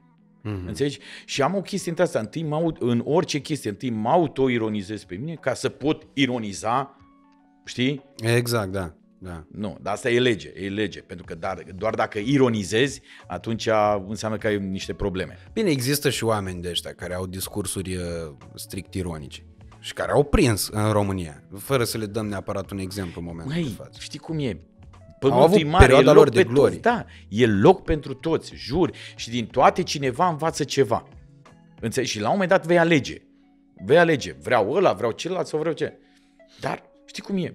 Dacă publicul ia ce-i dai. Aia pentru că pe mine ce mă deranjează foarte mult e și fals elitismul ăsta care pe noi ne caracterizează sau cel puțin pe o bucată, A, bine, o porțiune a societății. Da, da, da, e, da. Uh, și pe lângă asta mai e bă, tipul ăsta de discurs că domnule, aia ar trebui închiși, ar trebui să dispară, să nu știu ce zici, bă, stai puțin, dar ți-ar conveni să vină cineva căruia nu-i convine ce faci tu, să te cenzureze pe tine? Păi da. Păi parcă era cu jos cenzura, parcă nu era ok cenzura.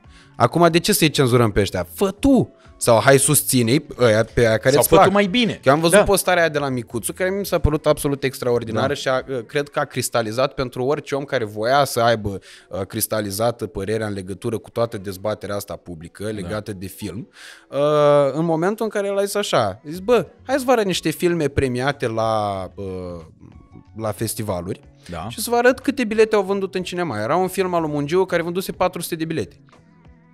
Și atunci, da, sigur, nu-i vina lui Mungiu da. că s-a întâmplat asta. Doamne ferește, că e o da. valoare. Da. Dar unde e publicul lui Mungiu? Adică de ce n-a plătit bilet să vadă filmul ăla în, în cinematograf? Unde sunt oamenii care acum critică că, domnule, că astea super comerciale? Că apropo și de conversia asta TV-teatru, uh, am auzit foarte multe păreri despre faptul că, spre exemplu, Bendeac aduce la teatru oameni care nu înțeleg teatru și atunci nu e ok ca ei să fie acolo. Și bun, pornind de la premiza că ar fi adevărat. Păi da, toate... Oamenii acum să înțeleagă, cum ar ajunge vreodată să înțeleagă teatru decât altfel mergând la teatru? Eu cred că orice, orice, orice activitate culturală, artistică e pentru toată lumea. Exact. Păi oameni buni, noi la un moment dat decidem ce vrem să vedem sau să nu vedem. E o libertate atât de mare și e bine că avem această libertate. Uh-huh. Adică e atâta de multă ipocrizie în societate. Nu, vai că ăla nu, ăla nu. Păi ăla dacă n-ar exista și ar exista doar ăla, tu te-ai plictisit doar de ăla bun sau ăla nebun, ce consideri tu că e bun. Mm-hmm. Nu, mhm. trebuie să fie toate aceste forme de cultură, ca tu să poți alege. Ca tu să poți, aici ține și de nivelul de cultură care îl ai, de nivelul de educație, Înțelegi? Dar nu, nu poți să blamezi oamenii. Majori, adică nu poți să că ascultă aia. Doi, dai dreptul lui. Exact. Da. E dreptul lui. Tu, dacă nu vrei, te închizi în casă sau asculți muzica ta sau vezi produsele tale. Mm-hmm. Atâta tot. E chestie doar de opțiune. Noi suntem telecomanda. Decid sau nu decid să mă Plus că pe lângă asta am impresia că există un segment uh, considerabil din populație care nu înțelege conceptul uh, de comercial. În momentul în care un om a făcut pe barba lui, pe banii lui, uh, un produs și ți-l expune, tu ai opțiunea de a-l consuma sau nu. Dacă l-ai consumat, da. asumă-ți faptul că bă, am pierdut banii, să zicem, da. sau am pierdut timpul, nu mi-a da. plăcut. Dar nu poți să-ți permiți să reacționezi ca și cum uh, ai fi fost la un uh, film uh, uh, făcut uh, cu bani de la Ministerul Culturii, uh, în care tu să zici, bă, uite, eu contribuabil, mi se pare că ăștia își bat joc de banii noștri.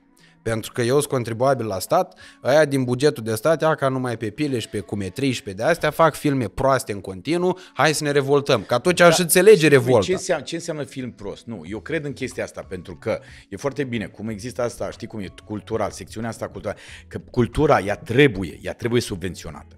Pentru că dacă ai lua-o după vânzări de bilete, înseamnă că ai face doar ce place publicului. Ori asta nu-i bine. Tu trebuie să-i dai lucruri la care el să tindă, la care el să aspire. Și asta nu se fac, din asta nu vei scoate bani.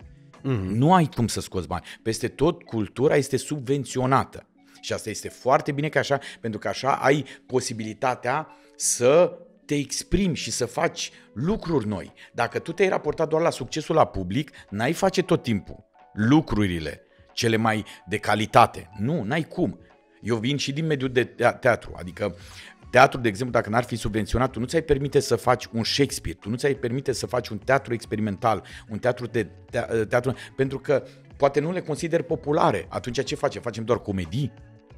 Nu, atunci trebuie să-i dai... Adică eu cred în soiul ăsta în care, domnule, sunt astea care sunt... Uh, normal că îmi doresc ca și filmul independent sau filmul comercial să fie și el subvenționat. Sau măcar să capete niște, cum să zic eu, uh, uh, să capete niște avantaje, știi? Mm-hmm. Adică, bă, să, fie, să fiu ajutat și eu așa cum este ajutat un film care este subvenționat, înțelegi? Adică, de exemplu, locațiile în București să nu le plătești, uh, bă, să, uh, să ai acces la parcări gratis, să, că sunt multe lucruri de care Astea ca mi se film, par lucruri de bun simț până la urmă. Înțelegi? Care ar trebui să se da, întâmple. și care cred că se vor schimba, adică, dar pe de altă parte, eu cred în chestia asta că fiecare are publicul lui. Noi, noi decidem ce vrem. Dar uh, eu, uh, eu într-adevăr, unde a fost, a fost o ruptură mare și aici cred că, cum să zic eu, dar a fost o greșeală așa, nu știu dacă de ambele părți. Înțelegi? Când uh, filmul românesc cumva s-a rupt de publicul românesc pentru că au, făcut, au luat pe acel domnule, pe mine nu mă interesează publicul, pe mine mă interesează festivalul, pe mine mă interesează nu știu ce. Ia, păi ăla nu mai e business în Da, dar momentul ăla. a- a- aici cred că a fost o, o greșeală.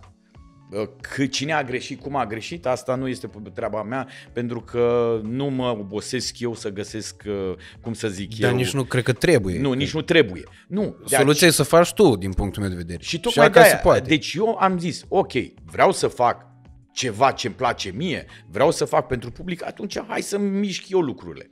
Plus că Înțelegi? modelul ăsta polonez Da. Da. e categoric unul de mare succes. De ce? Uh, adică e simplu să te uiți. Știi? În momentul de față, eu, uh, în calitate de uh, uh, român care are tangențe cu mediul ăsta, acum după ce voi ați făcut atât de multe filme, mi-ați ușurat munca teribil de mult, că eu nu mai stau în stadiu de pionierat să aduc lume la cinematograf.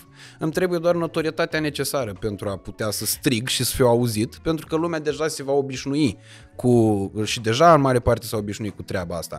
Asta e și cu modelul polonez, pentru că Iura Luncașu, de exemplu, urla de câțiva ani, spunea, zic, bă, uite câte filme fac ăia, uite câte Da, filme fac da. ăia.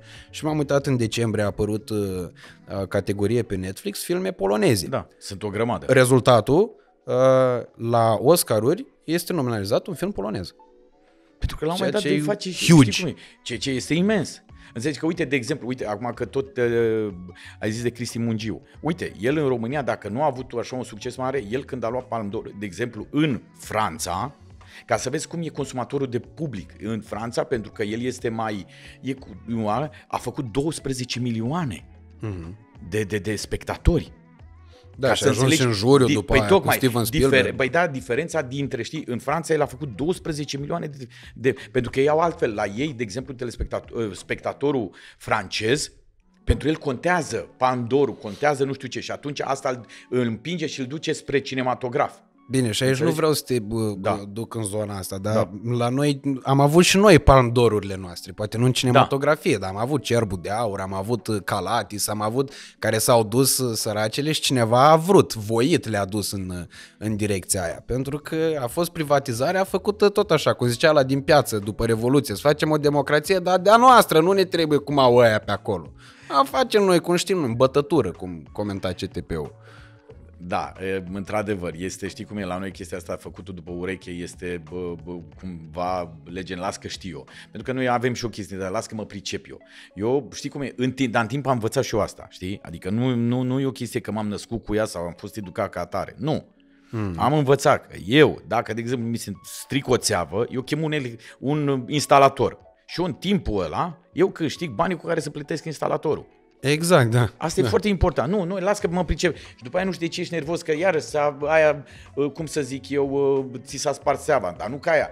Ți s-a inundat și peretele, ți-a stricat și mobila. Și dintr-o dată, bă, toată bucătăria este groaznică, înțelegi? Și niciodată nu ești tu de vină, chiar dacă tu ai reparat, că ai zis tu că te pricepi. Da, da. Nu, nu. Eu am chestia, băi, trebuie să garantezi pentru ceea ce faci. Uite, o întâmplare, senzație care am auzit-o de pe un vapor. La un moment dat a fost angajat un român pe un vapor și el era electronist. Dar el a fost angajat pe vaporul ăla ca și hamal.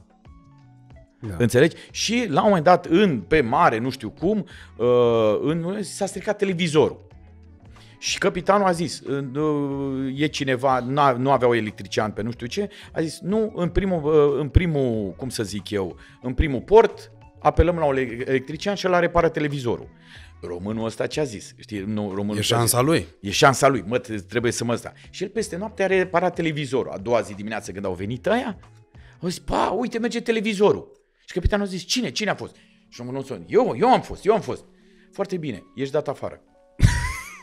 Cum adică, da, am făcut lucruri? Nu. Tu, nu pe fișa mea, tu nu ești pentru asta. Dacă cumva, din cauza faptului că se întâmplă un incendiu cu acel televizor, eu nu te pot trage pe tine la răspundere. Eu sunt de vină. Dacă eu chem un profesionist cu pata la ma uh-huh. și el îmi repară, atunci eu pot să-l trag pe la răspundere. Nu sunt eu de vină. Deci e cu totul, cu totul altfel funcționează. Legal vorbind, pe da. de altă parte, acum putem să ajungem într-o altă Bine, sferă a da. discuției patalama aia, cum Bine. ai obținut-o. Băi, pam, pam.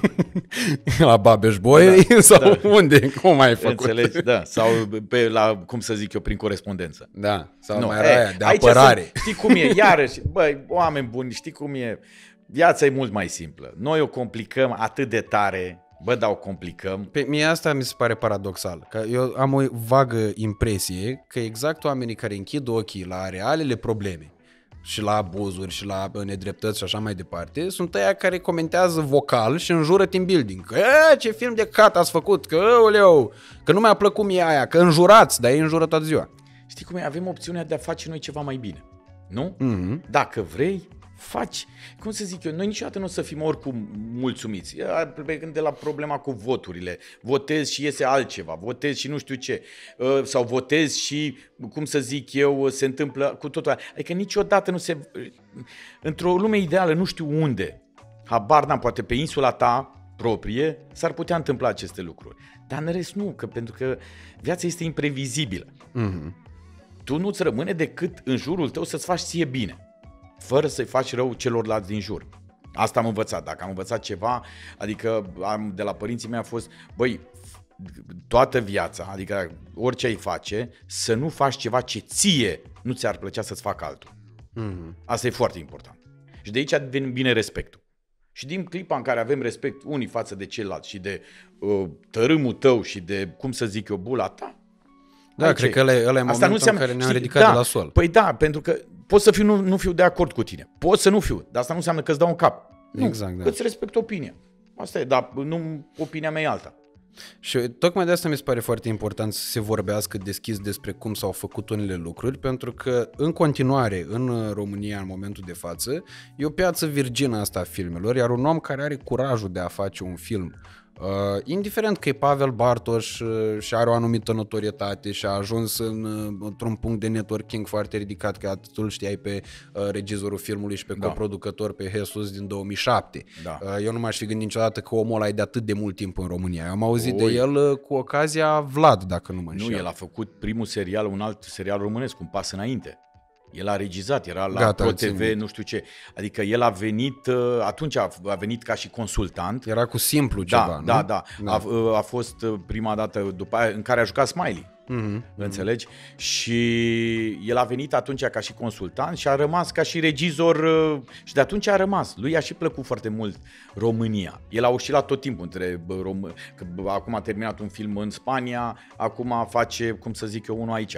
Adică e, cum să zic eu, e un om foarte foarte bun. Și mie asta mi-a plăcut. Gândește un pic altfel comedia. La mine e o chestie mai, mai occidentală. Știi? Eu văd un pic mai occidentală comedia. O văd mai, uh, mai de situație. Știi? Mai... Okay. Și atunci aveam nevoie de un om care să gândească astfel. Și el gândește. El gândește, mi-amintesc și acum, el gândește în editare. El deja când filmează, el se gândește, mamă, aici o leg de pe aia, nu știu ce, o leg aia, o fac. Nu...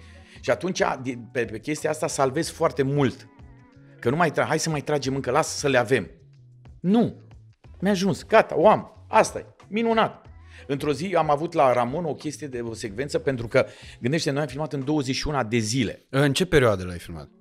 În uh, aprilie-mai, în, am început spre sfârșitul lui mai, uh, aprilie pentru că am întârziat foarte mult uh, anotimpul, vreo două săptămâni.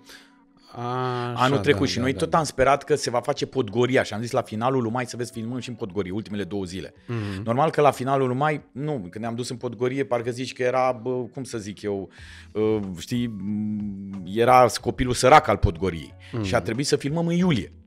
Exact. Și singurele două zile de filmare au fost cumva între vocea României și nu știu cum. Și în alea două zile, una dintre zile era ziua lui Smiley și el filma în amândouă. Și el a fost atât de mișto Smiley și a zis, Pavele, pentru tine fac. Au venit cu, știi, vorba aia, a venit și Gina cu copilul și uh, cum prietenul lui să-l sărbătorească. Și el mi-a stat acolo și a filmat. Adică am filmat și aici vreau să mulțumesc oamenilor care cumva au uh, corespuns la moarea noastră, știi? Mm-hmm. Chiar de la tehnic până la echipa de actori. Bă, toți am fost în aceeași sâmbătă. S-a muncit enorm enorm. La un moment dat, ca, să tre- ca asta ziceam, și la un moment dat aveam de ales, era un fel de cui proco în care trebuia să facem două secvențe în care, nu știu, în care ăla îl vede pe ăla, ăla nu-l vede, adică nu se văd, știi? Uh, și el a rezolvat-o foarte ușor, uh, înțelegi? A, zis, a găsit altceva. Aici e de maleabilitatea unui regizor și abilitatea lui de a face și de a salva o zi de filmare. Mm-hmm. Că la un moment dat, știi cum e, tu depinzi, faci exterioare, depinzi de vremea de afară, zice, mamă, plouă, cum dracu, și ne uitam, dar nu zice pe telefon că plouă. Bă, exact, zici că era un nor care venea deasupra noastră și numai acolo ploua. Înțelegi? Adică erau ceva, știi, da, iarăși, a trebu- știi, găsești foarte... Uh, să nu înțelegi că dacă noi facem o preproducție înainte, totul se întâmplă conform planificării. Nu!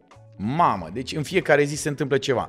Nu se mai poate face aia acolo, nu se mai nu știu ce. Și tu erai actor și zici, Pavele, mai trebuie să rezolvăm și aia. Pac, hai să o rezolvăm și pe aia, hai să nu știu cum. Adică sunt multe lucruri, mm-hmm. dar foarte grele enorm adică seara, după ce se terminam de filmare, stăteam cu Iisus, mamă, deci mâine avem de aia, mâine trebuie să mai pregătim, vezi că aia nu am obținut-o, aia trebuie să o obținem, aia trebuie să facem rost. Și cum mă fac, găseam soluția necesară. Da, și asta mi se pare că și ce spuneai tu mai devreme legat de comicul de situație. Uh, comicul de situație este uh, scump din punct de vedere tehnic. Că și aici există multe artificii. Da. Ca tu să o scoți financiar, preferi în momentul respectiv să umpli cu text. Da. A, băgăm dialog aici și de asta filmul nu mai devine comercial când ai atâta text, că lumea se plictisește, scot copiii TikTok-ul. Da. Și s-a rezolvat. Da, pentru că e multe, multe. E, la mine asta e, că asta v-am spus, adică noi am, avem 3000, începem dintr-o podgorie și ajungem Uh, în, iarăși în vreo 7, 8 uh, locuri foarte dificile de filmat în București. Gândește, noi am filmat în Gara de Nord. Gara de Nord este una dintre cele mai dificile. Pe nu poți să oprești niciodată. Nu poți, pentru că tu ai, tu ai 20 de figura, uh, de, 20 de, de oameni de figurație, pe care cumva îi mânuiești ca aia să fie pe lângă actor, ca aia să decidă cumva. Dar mai sunt unii care Știi cum e? Pe lângă faptul că se uită direct la tine și zice, domnul Bartoș, he, he, he, ok, da. Și zicem, bine, ok, nu mai țipați, vă rog, puteți să vă uitați, nu știu dar că mai scoate și telefon și vreau să fac eu o poză cu dumneavoastră, vă rog eu din suflet. Și eu zic, da, filmez, da, domnule, hai că plec acum la Bacău și nu, nu acum ai trenul și altfel nu. Da, și îți strică o filmare, îți strică o dublă, știi? Da, da. Înțelegi? Adică sunt multe, multe lucruri și la care trebuie să te, cum să zic eu, să te raportezi. Că n-ai ce face. Dar, pe de altă parte, trebuie să și livrezi, trebuie să și filmezi, pentru că locația aia nu ai două zile, pentru că altfel te costă locația aia. N-ai filmat în aia, gata, uită. Sau mai plătești încă o zi de locație. Da, da. Să mai ții, după aia întârzie filmul, întârzie, întârzie o grămadă de lucruri. Da, ceea ce și să ții și racordul și așa mai oameni de departe. plătit, oameni nu știu ce, pentru că ei, tu, iai, tu angajezi oamenii pe proiect. Ei vin pe atâtea zile. Dacă ai o zi în plus, ha, scoți. Mm. Cum și faci? A, și alea te costă, da, alea te costă, știi?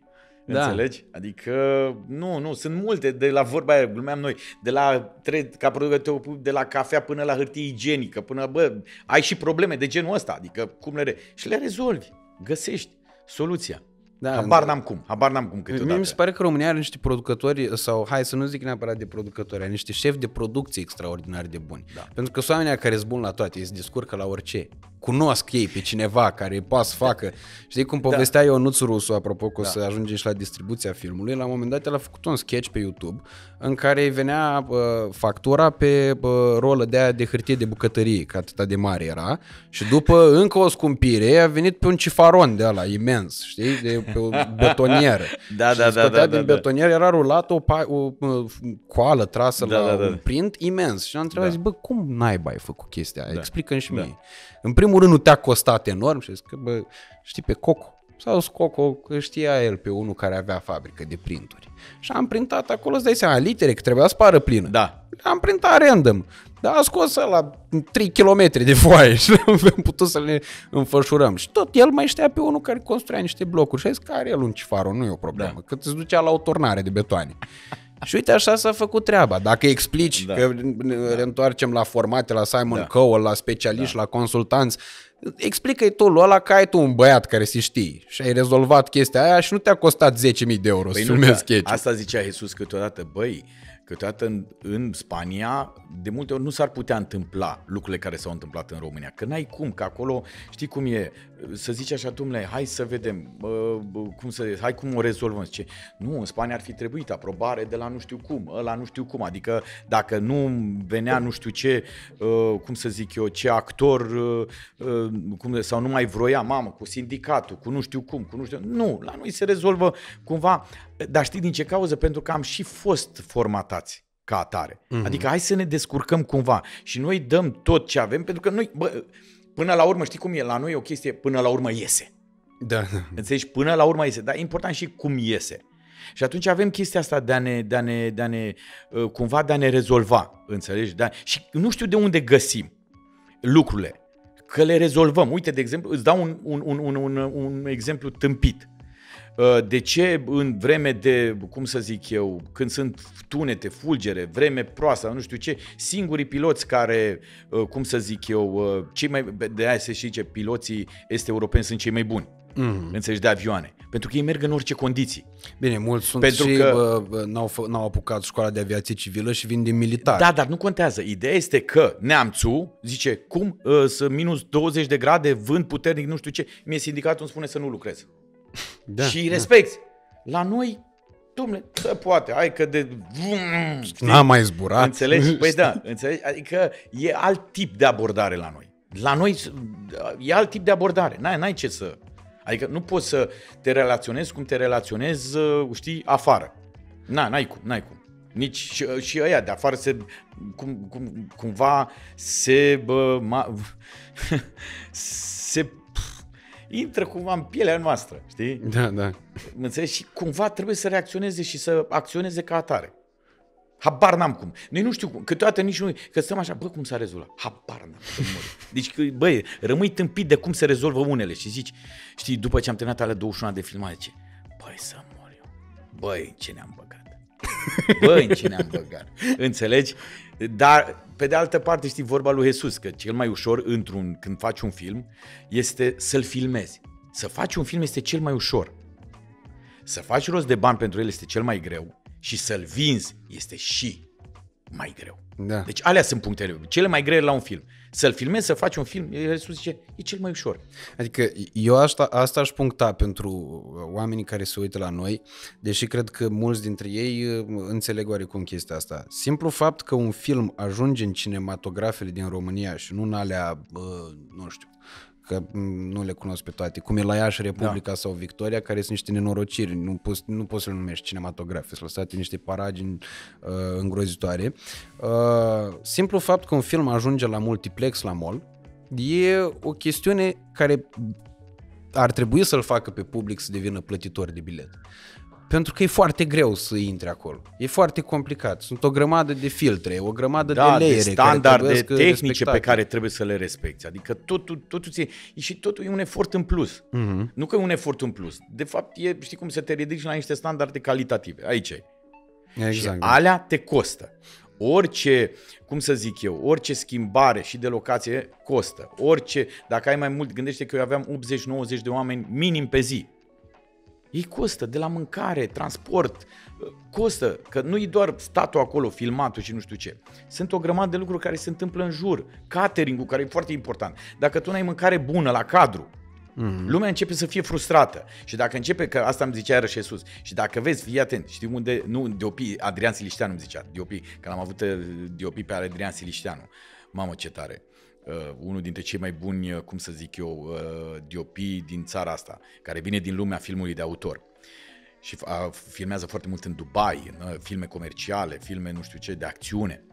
Și el îmi zicea, știi cum, Pavele, să știi că cel mai, câteodată cel mai important, adică unul, e unul dintre cele mai importante lucruri la un film românesc este catering Exact, da. Băi, dacă dimineața omul ăla n-are o cafea bună, n-are, bă, că dacă îi dai doar sandwich, el se satură. Zice, băi, iară sandwich, lasă-mă, iară sandwich. Și nu-ți mai vine. Și atunci, și mi-a zis, când vezi că începe să-și cumpere mâncare pe banii lui, el atunci devine frustrat. E red flag. Da, gata. și zice, nu, stai un pic, că mi-am luat mâncare, eu acum trebuie să mănânc. E, nu știu. Și atunci uh, devine, știi, refractar. Mhm.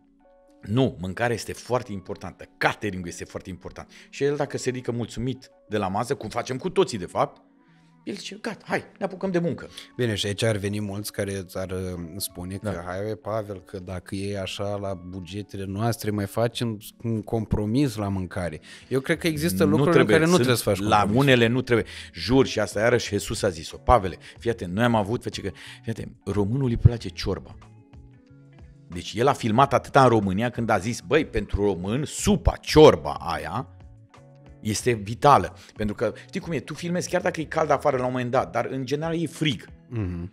Băi, și supa aia îi face, ciorba aia îi face bine. Și el, spaniolul, care a mâncat prima dată ciorbă când a venit în România, a zis, trebuie să avem ciorbă la filmare. Da, Trebuie da. să avem supă la filmare. Da, pentru că a gândit-o Da. tehnic. unii omul. sunt, ve- unii sunt, uh, nu mănâncă carne, unii puțin post, unii... Deci trebuie să te gândești la 3000 de lucruri. Da, chestia asta mie mi se Da. pare foarte importantă, pentru că, într-adevăr, uh, uh, un om în momentul în care uh, îi respecti niște lucruri minime și asta pe lângă mâncare mai Da. e transportul la filmare, că dacă filmezi la nu știu ce distanță, nu poți să-l pui pe om să vină pe carburantul lui și așa mai A, departe. nu, nici nu se... Uh, mai mult decât atât, zilele libere, iar mi se par foarte importante. Că Vezi, la noi iarăși- s-au, s-au obișnuit asta. Bine, la 21 de zile de filmare n-ar fi o problemă, dar se filmează seriale în regim de la non-stop și e liber numai duminica. Da. Lasă-vă omul ăla să mai și odihnească puțin. Aici e cum fiecare producător, fiecare proiect cum vede. Noi am avut, iarăși ți-am spus, eu am avut o încredere fantastică în Jesus de la casting, care el a, el a hotărât castingul. El, i-am dat libertate. Noi, ca producător, am zis, Asta Jesus, v-am tu să ești te întreb apropo de distribuție. Cine a, bă, cine a decis... Uh... Jesus. Ok. Singurul pe care cumva avea un rol, pentru că ține și de o, cum să zic eu, de o relație a mea pe care o- e Smiley. Acolo îmi doream foarte mult ca el să joace în acest film. Și aici era, Și să- asta da. urma să fie întrebarea, dacă tu ai gândit rolul lui Smiley pentru lui Da, Smiley, da, pentru Smiley Nu, sau ăla a fost s-a gândit, mulat? dar a fost singurul. Singurul. Bine, Andreea Esca cumva și-a jucat propriul ei rol. Înțelegi? Uh, Shelly iarăși a jucat uh, propriul lui rol de vlogger. Înțelegi? Pentru că am- ne trebuia un vlogger. Înțelegi? Și am zis, bă, e cel mai Nu potrivit. ne uităm la bani, luăm pe cel mai Înțeleg. mare. Înțelegi? Și am zis, ne trebuie un astfel de om. În rest, toți au dat ca de la Elvira Deat cu, uh, cum să zic eu, Andreea Vasile, Alexandru Ion, Teona, pentru că, uite, noi așa am descoperit niște tineri actori.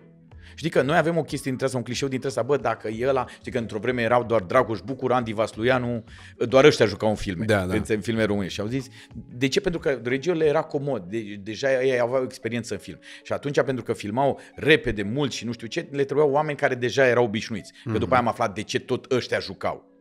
Ori noi am descoperit nici nu niște mai oameni... pierdeai timp cu castingul. Da, păi aia, e. noi am co- descoperit oameni noi. E foarte important. Uite, Domnica Cârciumaru, îi mulțumesc, ea a fost director de casting, ne-a dus niște oameni noi. Teona Stavarachi, Alexandru Ion, pe care l-am dezgut. Uite, bă, acum are și taximetriști, că am, am și zis, e primăvara lui. Are și serial la da. postul Da, concurent. Da. E foarte bine că, uite, toată lumea zice, bă, ți-ai adus doar oamenii tăi din trup. Nu, Ionuț Rusu, Alexandru Ion, joacă în alte... Bine, Ionuț Rusu e liber de contract acum. A, da? E, n-am știut, când l-am luat noi, nu era liber de contract, era cu te cunosc de undeva. Da, dar era Înțelegi? și cu Kiss FM, care oarecum aveți Da. parteneriat. E. Deci, noi nu ne-am dus pe chestia că ăla e de acolo sau ăla. Nu, am dat pentru fiecare casting. Eu m-am bucurat mult pentru Oana Adică- Zara că am văzut-o în Da, distribuție. ca să înțelegi, noi avem în film, eu am trei premii Gropo, Gopo, chiar r- râdeam acum cu Isus. Am zis, tu îți dai seama, noi așa ar trebui să marketăm, cu trei premii Gopo în ăsta. Elvira Deatcu, premiul Gopo, Iulian Postelnicu, premiul Gopo, Farcaș Bogdan, premiul Gopo. Și uite, așa am Da, descoperit... Farcaș Bogdan mi se pare uriaș, da, efectiv. și am descoperit un actor foarte bun de la Botoșani, Bogdan Horga. N-am datorită auzit lui Domnica niciodată. Cârciumaru. O să vii la film și o să-l de... Băi, are o față. Doamne Dumnezeu! Deci am descoperit un actor minunat care sunt sigur că va face de acum carieră mare în film. Înțelegi? Mhm. Dar uite, am descoperit datorită faptului că am dat un casting pe bune și am zis, bă, cine ne impresionează? Adică cine, cine îl impresionează pe Jesus? Castingul e foarte greu. În film este foarte greu, pentru că în teatru mai poți să nimerești ăla, știi cum e, îl mai forțezi pe ăla în rolul ăla sau nu știu ce. Nu, în film trebuie să corespunzi tipologiei, ca față, trebuie să ai chimie între, uh, cum să zic eu, uh, cei doi sau cei trei sau cei patru sau cei șase care sunt în secvența aia. Mm. Adică e foarte, trebuie să ții cont de foarte mult. Și aici cred că e și bă, bă, chestiunea asta care, oarecum instinctivă de a bă, alege în momentul în care faci un casting pentru un film, să alegi pe aia pe care îi cunoști, care sunt lângă tine, ceea ce mi se pare că poate să fie destul de greșit în anumite circunstanțe. Eu, eu am avut experiența asta la primul meu, la scurt metrajul meu, Romanian Tradition. La un moment dat, cumva, aveam tipologiile, era vorba de o nută. Dar uite, în ultima Și zi... le căutai tu în capul tău, Da, nu? și am zis, mă, și că după când am făcut niște repetiții și când am început să așa, bă, nu se... Și în ultima zi știu că am schimbat doi actori, mari de tot, pe Papadopul cu Titieni. L-am schimbat uh, în ultima... Că și am zis, bă, se potrivesc mai bine. Și a fost bine așa. Adică până în ultima clipă ai îndoiel că ăla se nimerea sau ăla sau că trebuie, știi, ai îndoiel tot timpul. Mm-hmm. Înțelegi? De aia castingul este foarte mult, de aia unii stau foarte mult la casting, de aia unii repetă enorm de mult. Bine, își și permit, poate au alte bugete, adică unii la casting pot să stea și trei luni. Da, Înțelegi? Da, da, bine. Dar nu, nu, nu, nu poți. Repetiția e foarte importantă, adică sunt, sunt, sunt multe lucruri. Mai e și chestiunea de timp de postproducție, care mi se pare că și asta contează Mamă, foarte iarăși, mult. asta este pentru că e o altă lume, postproducția. Adică, de exemplu, montajul, uite, și iarăși am dat de, avem un mon, editore senzație, Ovidiu Văcaru, cu care Iisus lucrează de, uite, de la Ho Ho Ho, el, lucrăm cu el. Și am lucrat și la Romanian Tradition. Extra, adică cumva ne înțelegem și asta pentru că el deja simțea cam ce vrem noi, deja am, cum să zic eu, ne-a ajutat foarte mult, adică am mai depășit niște etape, dar e foarte important pentru că montajul, editarea sau postproducția poate face un film mai bun sau să-l strice. Mhm.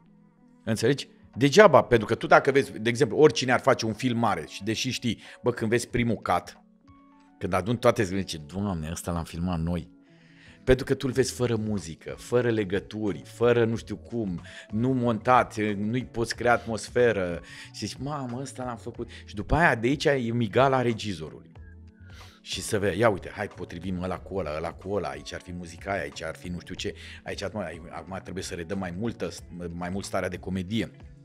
Acum aici să, să amplificăm emoția, să nu știu ce, aici să punem în evidență aia. Adică sunt 3000, după, după film, postproducția e un alt film. Exact. E o, alt, e, o, alt, e o altă lume care e migăloasă.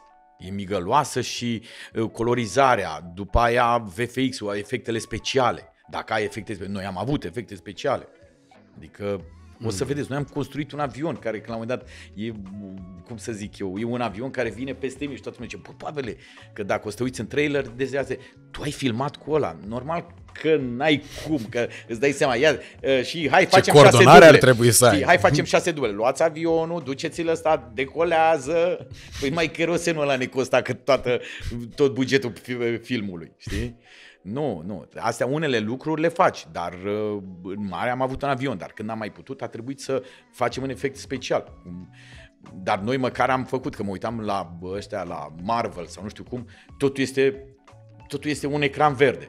Și îi fac în față, filmează în fața unui ecran verde și după aia îi pun ce vor ei. Da, da, da, m-am pentru uitat că și eu au la, bugete, la cum s-a știu, făcut da. Avatar. E Au ceva- bugete de zeci de milioane, de sute de milioane și atunci își permit acest lucru. Plus că mai e o chestie, uh, și în sfera asta a efectelor speciale. Una e un uh, film Marvel cu supereroi Da. unde poți să mai dai o gherlă pe românește pe cum efectul special și alta e momentul în care tu chiar vrei să faci o scenă șocantă într-o comedie. Da. Bă, nu prea poți. Adică, uite, asta discutam și cu Teo Rose. Mi-a place clanul foarte mult. Da. Mi se pare un serial Foarte- românesc da. foarte tare. Foarte bine. În schimb, în momentul în care au, bubuș, au bubuit mașina lui Tătuțu în uh, ultimul episod din uh, sezon, N-am văzut, se n-am văzut. vede clar acolo efectul special că e...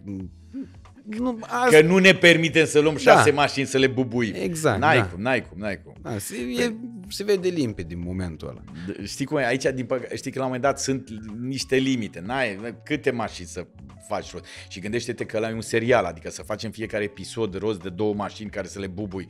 N-ai cum, n-ai cum. Poate într-un film zici, hai domnule, ne permitem o mașină să o bubuim. Mm. Înțelegi? Dar uh, știi cum e? Românul se descurcă. Mă, românul se descurcă, știi? Înțelegi? da. Și e bine, știi cum e? Iarăși dincolo de, băi, e bine că se face. E bine că se face, e bine că lumea vine, vine la cinematograf. Uite, mă uitam zile trecute, băi, era lume la cinematograf. Știi cum era acum șase luni? Tristețe. Da, da, da. Deci cinematografele erau tri... M-am dus eu să văd un film, mi s-a părut că am vremea acum e, bă, rece, nici mai dădeau aia drumul la căldură. da. Înțelegi, dacă eram puțini, înțelegi? Deci era o chestie de aia. Și nu mai avea... Și am zis, bă, cinema chiar așa să dispară. Și de aceea mă bucur pentru toți ăștia care au readus filmul. Bine, Uh, anul ăsta o să-și fie, o să-și fie un an în care uh, worldwide vor ieși niște filme foarte tari. Foarte bine, au și așteptat mult timp, că uite, Tom Cruise a așteptat 2 ani de zile cu Maverick, cu, cu Tom, Gun, Mhm. mm-hmm. Top Gun, că a zis până nu se va uh, da drumul la cinematografe și să se dea la capacitate maximă, n-are rost. Că Da. și asta e, că una e la 30%, una e la 40%. Mai e o chestie, el și-a permis să aștepte. Că și asta e o treabă. Domnule, știi cum e? Uh, da, și-a permis acest lux. Nu știu dacă noi ne permitem acest lux. Nu. Noi, adică la noi, Doamne ferește, să vină vreo, vreo dintre asta, vreo, vreo dramă, vreo nu știu ce, vreo iar să ne... Doamne, iarăși cred că ne dă în urmă cu încă 5 ani. Ferească Dumnezeu, Adică da. pandemia pentru industria divertismentului a fost groaznică. Groaznică. Adică dacă a suferit cineva enorm de tare, Acum nu mă refer la cei care au fost, adică nu mă refer la oamenii bolnavi sau nu știu ce, nu, nu, eu zic la industrie. Da, Una da. dintre industrie care a suferit grozav în pandemie a fost divertismentul. Pentru că la ai contactul direct cu publicul și publicul nemai având voie să vină la spectacole, să vină... mă, A fost groaznic. Plus că erau niște soluții de compromis, da, absolut aiure. Adică, țin minte când vara lui 2020 am fost, eram la Mamaia și a venit Marius Manole, juca uh, Făm loc cu Medea Marinescu și îl juca în uh, parcul primăriei. Am zis că, bă, hai că mi-e dor, n-am mai fost Da, la teatru da, de atâta da. timp, nu mai fusesem din ianuarie. Da. Uh, moment în care, uh, când am ajuns în parc, eram bucuros că văd spectacolul de teatru. Dar nu a mai poți fost să joci atmosferă. teatru în parc, frate. Da. Da. A tre- trecut unul și zice, "Ei!" Joacă teatru. Da, pentru că tu Condițiile trebuia să astea. joci în aer liber. Și eu am pățit și noi, ducam la Herăstrău. Mm. Lângă erau, a, băi, ce faci, băi, nu, no, n-ai voie. Bă, știi, erau copii cu bicicletele, părinții, bă, bă. Și tu erai, încercai să fii, știi, Da. să joci. N- În n-ai televiziune cum, n-ai erau imaginile alea total anoste, cu bă, oameni cu viziere pe față. Cu... Da, adică nu, nu, nu vreau să mă gândesc. Adică, știi cum e, mă uitam, la un moment dat, băi, a fost o chestie... Uh, când lumea și-a dat jos măștile, băi, la un moment dat aveai impresia că nu-i mai cunoști. Mm-hmm. Adică nu-i mai cunoșteai decât cu mască. Și vezi că unii au rămas în obiceiurile de atunci. Știi? Mă, iarăși, ține de opțiunea lor. Nu mă treaba refer la lor. mască Știi? neapărat. Da, Mă refer la bă, obiceiuri de consum. Foarte multor uh, oameni încă le, uh, le e greu să adapteze la ieșit în oraș, la socializare, la... Adică eu văd eu oameni care preferă nici să-ți nu- dea un telefon decât să se întâlnească cu care e tine toată decât stați faza? la 10 tu minute. nici nu știi prin ce au trecut. Poate că unii dintre ei au trecut prin niște drame personale extraordinare și atunci capătă o teamă. Nu știm, noi nu știm fiecare prin ce a trecut sau cum a fost afectat. De aceea o îi respect, că noi, uite, noi râdeam de ăștia de asiatici. Ei aveau chestia asta înainte cu nu știu câți ani. Mm-hmm. Înțelegi de chestii. Și eu ziceam, bă, dar ce poartă mască? Am fost, de exemplu, anul trecut în Dubai. Și îmi zicea ăla ce că, și ziceam, și v-ați obișnuit cu masca? A, la noi, noi ne-am, că la noi noi am mai avut în 2012 pandemia, dar la voi nu a ajuns în Europa. Da, da, a da, fost da. doar până la ei. Așa că la noi tot așa și au fost închiși două luni. Noi habar n-am avut Da, de nici chestia știri asta. n-am. Sau Înțelegi? dacă le-am auzit, da. nu le-am băgat de seamă. Da, nu, nu le-am, pentru că dacă nu te, știi, n-ajunge la tine. Cine credea când a a apărut în China? Las, bă, ajunge la noi. A, bă, Da, du-te da, până da, da. Ajunge. E, uite că a ajuns și a ajuns într-o formă groaznică. Da. Înțelegi? Tocmai de aia, adică, m, știi, până n-ajunge la tine nu te afectează, până nu ți se întâmplă nu știi cum să reacționezi. De aceea, iarăși, e, băi, așa, că nu, știi cum e, unii capătă, capătă o teamă, că dacă ți s-a întâmplat ceva, zici, bă, nu vreau să, știi, Da, cred că e important până la urmă, urmă să facem toate eforturile necesare să uh, ne uh, redescoperim și mulți oameni deja fac asta. să redevenim Uh, normali. Da, și Că uite, îmi zicea cineva, eu la un studiu și mai și zicea cineva, un, un psiholog, zice, după orice, deci o- după o pandemie de genul ăsta, îți trebuie șapte ani de zile să revii la normal. Uh-huh. Și n-am înțeles cum adică șapte ani de zile. Pentru că după vreo 2-3 ani începe să, cum, cum a fost și la noi, că de-abia de anul trecut au început uh, fără mască, fără nu știu ce, dar au trecut 2 ani, adică în 2002. pe acum un an, pe vremea asta, încă n-aveai voie la Da, n-aveai cinematograf. Voie, n-aveai voie decât 30%, 40%. Noi acum începem să revenim, dar încă nu suntem 100%, încă nu suntem atât de deschiși. O să mai treacă încă un an, doi, până să zice, a, e Cărciumile normal. se încheie la 10, Da, de exemplu. da, încă. e normal, da, la 9 jumate deja nu se mai comandă mâncare, adică, știi, nu mai găsești Deci, pentru bucătăria mine e deschisă. foarte trist, dragi cărciumari. Da, Faceți un efort, reveniți la normal. da. E, eu vin tot timpul după spectacol și am câteodată poftă de câte un ciolan, de nu știu ce. Și am un restaurant și tot timpul zic, ba, mă, dacă nu am prins până la 9 și un sfert bucătăria deschisă, am ratat ciolanul, știi? Mhm. Și atunci ți-l faci acasă, da. Ți-l faci la fel de bun? Nu, nu contează. Ideea e că vor, adică ca să revenim la normal și aici e, cred că trebuie, vor mai trece vreo 2-3 ani. Să dea Dumnezeu să nu se mai întâmple altceva. Doamne, Doamne ferește. Și apropo de asta, gândește că l- mulți au încercat, uh, printre care la Serbins, de exemplu, da. și așa mai departe, să continue uh, filmări ale unor producții Ce- în perioada aia în care efectiv noi- tu te stai zilnic. Noi, de exemplu, la România au talent a fost groaznic, groaznic să filmăm Știu că fără ați făcut film, spectatori. film, finala pe, au trimis aia Doamne, de pe... ăia își trimiteau fiecare Da, momentele. momentele. momentele, nu știu ce, că totuși să închidem sezonul. Adică a fost un compromis care cumva trebuia făcut. A fost un compromis uriaș. Dar până la urmă a trebuit să facem. Adică e ca și chestia cu teatru online, în care eu nu cred. Deci teatru online eu nu cred Da, da, în el. Adică tu vii la teatru ca să trăiești emoția aia directă cu uh, actorul. Cu, să te bucuri, să plângi, să vezi Simți mirosul. da, e, e altceva. E o emoție directă. De-aia e frumos teatru și cred că nu o să dispară niciodată. Mhm. Pentru că are un anume tip de emoție, un, at- un tip de energie care se naște atunci, acolo, între spectator și actor. Da, niciodată bă, teatrul nu va fi bă, bă, la fel uh, filmat uh, cum e pe scenă, cum niciun Da. concert nu se compară niciodată ca și calitate, ca și emoție Da. transmisă cu muzica pe care o asculti în căști. E normal, dar e, bi- e, e bine să fie așa. Vede, vezi, teat, spectacolul de teatru nu e la fel niciodată. Chiar dacă e același text jucat, tu nu joci la fel în fiecare seară. E în funcție de publicul ăla, în funcție de tine, te doare burta, nu te doare burta, ai avut probleme, n-ai avut probleme, ești fericit, nu ești fericit.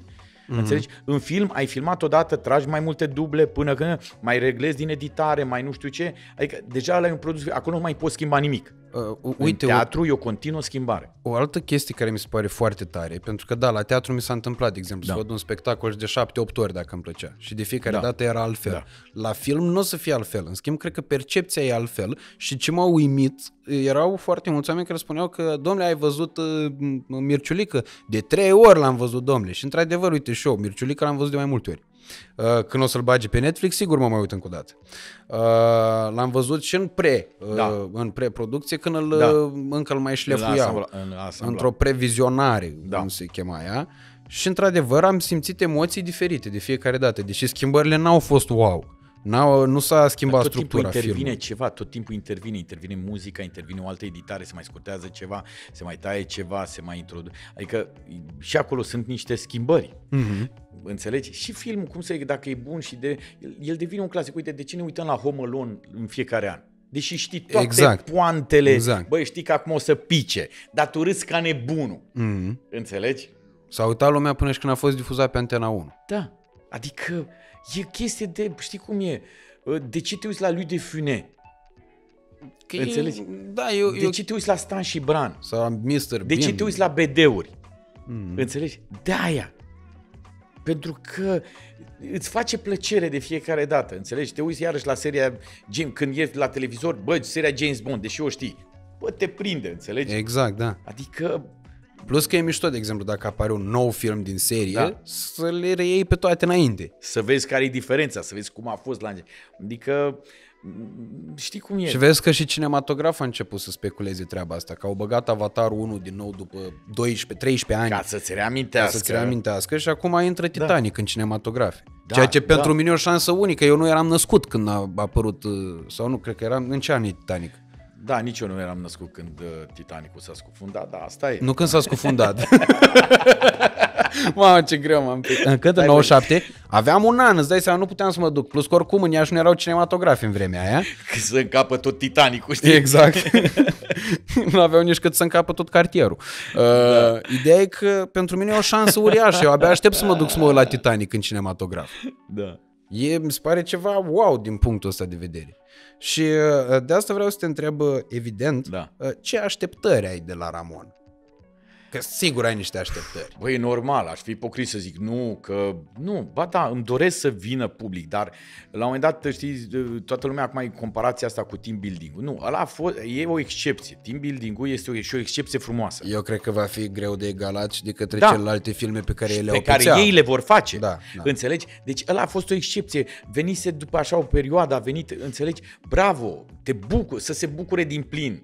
A, și Foarte sezonul bine. de așa natură. E, și normal că îmi doresc, nu știu, acum îmi doresc undeva să fie pe la vreo 300 de mii. Înțelegi? Dacă se va întâmpla să fie mai mult, să fie primit. Dar îmi doresc undeva să fie în zona asta. Mhm. Și îmi- știi cum e? Eu sunt optimist. Și cred că va fi pentru că e un film tare, tare bun. Eu îl văd tare, tare bun. Acum, iar m-am zis, eu îmi la- laud copilul. E cel mai frumos din lume. Înțelegi? Și e tare, tare bun. Și e, ți-am spus, se regăsesc toate categoriile sociale. Se regăsesc toți în el. E și bă, cu emoții și de dragoste și comedie din plin și acțiune. Tot. Deci m- mă simt așa prost că n-am văzut filmul, pe Stai de o parte liniștit. pentru că uh, aș vrea să uh, îmi fie exprimat și o părerea, pe de altă parte mi se pare foarte bine că n-am văzut filmul, pentru că uh, altfel aș fi uh, fost uh, uh, atras să dau foarte multe spoilere din el sau Da. să atingem subiecte din film, ceea ce nu e ok, Da. pentru că mi se pare că am stârnit mai mult curiozitatea în felul ăsta. Să dea Dumnezeu și Dar să fie așa. o să fac o chestie. Da.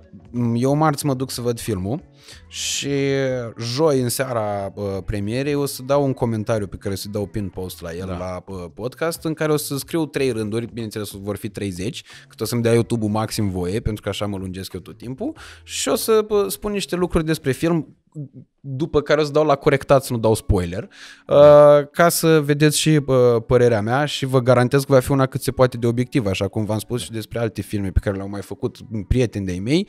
Uh, unele dintre ele nu mi-au plăcut teribil, dar v-am recomandat să vă uitați, pentru că părerea mea poate să fie subiectivă Da, odată. și de, de, e normal să fie așa.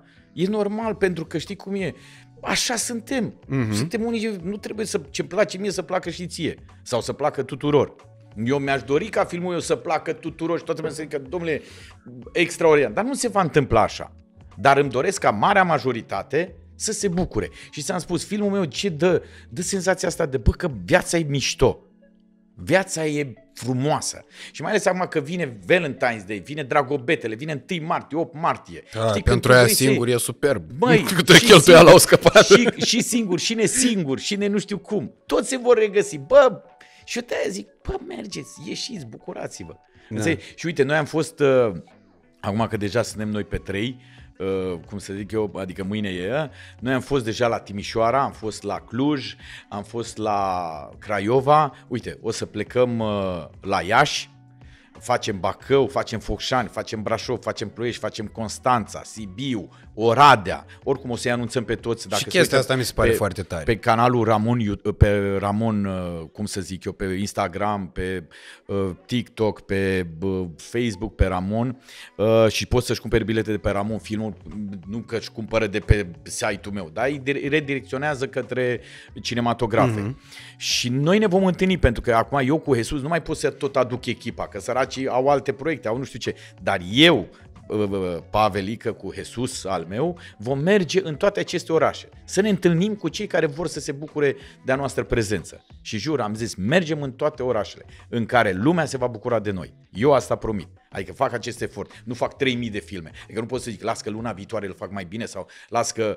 Nu, fac un film. Poate următorul va fi peste un an, poate peste doi ani. Un an e o, e o chestie rezonabilă și ar fi de dorit. Dar poate următorul film Poate nu să-l fac, Doamne ferește, hai să bat în lemn. Urma să te întreb și Înțelegi? asta, dacă indiferent de rezultat, uh, urmează al doilea film. Nu cred că mă voi da bătut atât de ușor. Asta e, e foarte tare. Chiar nu e foarte că... tare. Pentru că am învățat foarte multe din uh, toată această experiență. Știu și știu data viitoare cum să fac mai bine niște lucruri, să eficientizez mai bine niște lucruri. Știi cum e? Nimeni nu s-a născut învățat. Mm. Cu hmm. toți am învățat niște lucruri și ne prindem de niște lucruri. Dar nu cred că mă voi lăsa. Dar eu sper, sper din tot sufletul. Știi că în succes, eu nu vreau, chestia asta cu succesul uh, e iarăși aiurea, pentru că noi avem, din păcate, chestia aia, când, deja când facem un produs să ne gândim la succes. Da. Mamă, eu vreau să... Nu, dacă te gândești așa, nu o să-ți iasă niciodată. Dacă te gândești că o să-ți iasă la banii sau că faci pentru bani sau pentru succes, nu. Pentru că te vei focusa doar pe chestia asta. Și vei face niște lucruri atât de proaste sau poți să faci un heirup ca hiturile și după aceea să dispari.